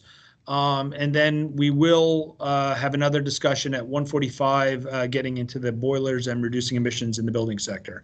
Um, and don't forget, uh, each one of these stakeholder sessions needs a separate response. Uh, so you, if you responded to this one and you're you're thrilled with the way it's going, make sure you sign up for the uh, mobile ones also. Um, we really need everyone's feedback on on all these issues. So, up, Barb, you got a one question in at the la- at the very end here. Okay, so I just, it's, maybe I missed part of the first, the beginning of this, but I want to hear a little bit more about the kind of modeling that you plan to do to answer some of these questions so that you can really know in a more granular way what is actually happening to emissions in the state. Um, so can you say more about who would be doing that and what does, and, and this has to do with leakage within PJM? Yeah, I, we did talk about that earlier, and, and there was not a really definitive answer, I'll be honest. We said uh, the modeling, if, if it's needed and when it's needed, if it uh, would be done in conjunction with BPU um, and with our uh, sister uh, energy uh, and, uh, and clean energy office. So, um, and, and there was a- even a request to share some of the assumptions and the modeling results uh, if we did that uh, prior to any rulemaking. So uh, just keep in mind, again, uh, and, and I say this, uh, modeling takes time and I'm supposed to have a rule done. So uh, there's a balancing act here of how much detail I can get into versus getting, getting a rule done. So I, I, there's a balancing act. Mike Eggington, go ahead. Hey, Ken, just a, a logistical question. Can we stay logged on uh, until we start up again at 12:30 or do we have to re-log on? It is the same link. Hypothetically, you could stay logged on. Um, I'm going to log off myself um, because I don't know what happens uh, after a long period of time, but uh, you can stay logged on or you, you can re-log in. It doesn't matter. Okay, um, thank you. Frank, did you want to say something before we uh, close it out? It's actually a, a, a, similar to Michael's question. Um, will we continue to record this as one recording, or are you going to stop the recording and restart it? We're going to stop the recording once I close out, and then we're going to restart the recording uh, at, at 12:30. Thanks, Ken.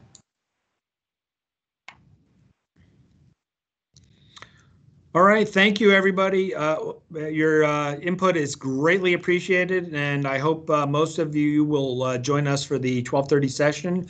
Um, much appreciated. Thank you. And before I turn off the recording, yes, John, the slides will be made available on the uh, PACT website once once we're done. So Rebecca, you, or you can stop the recording at this point. Thank you. Thank you.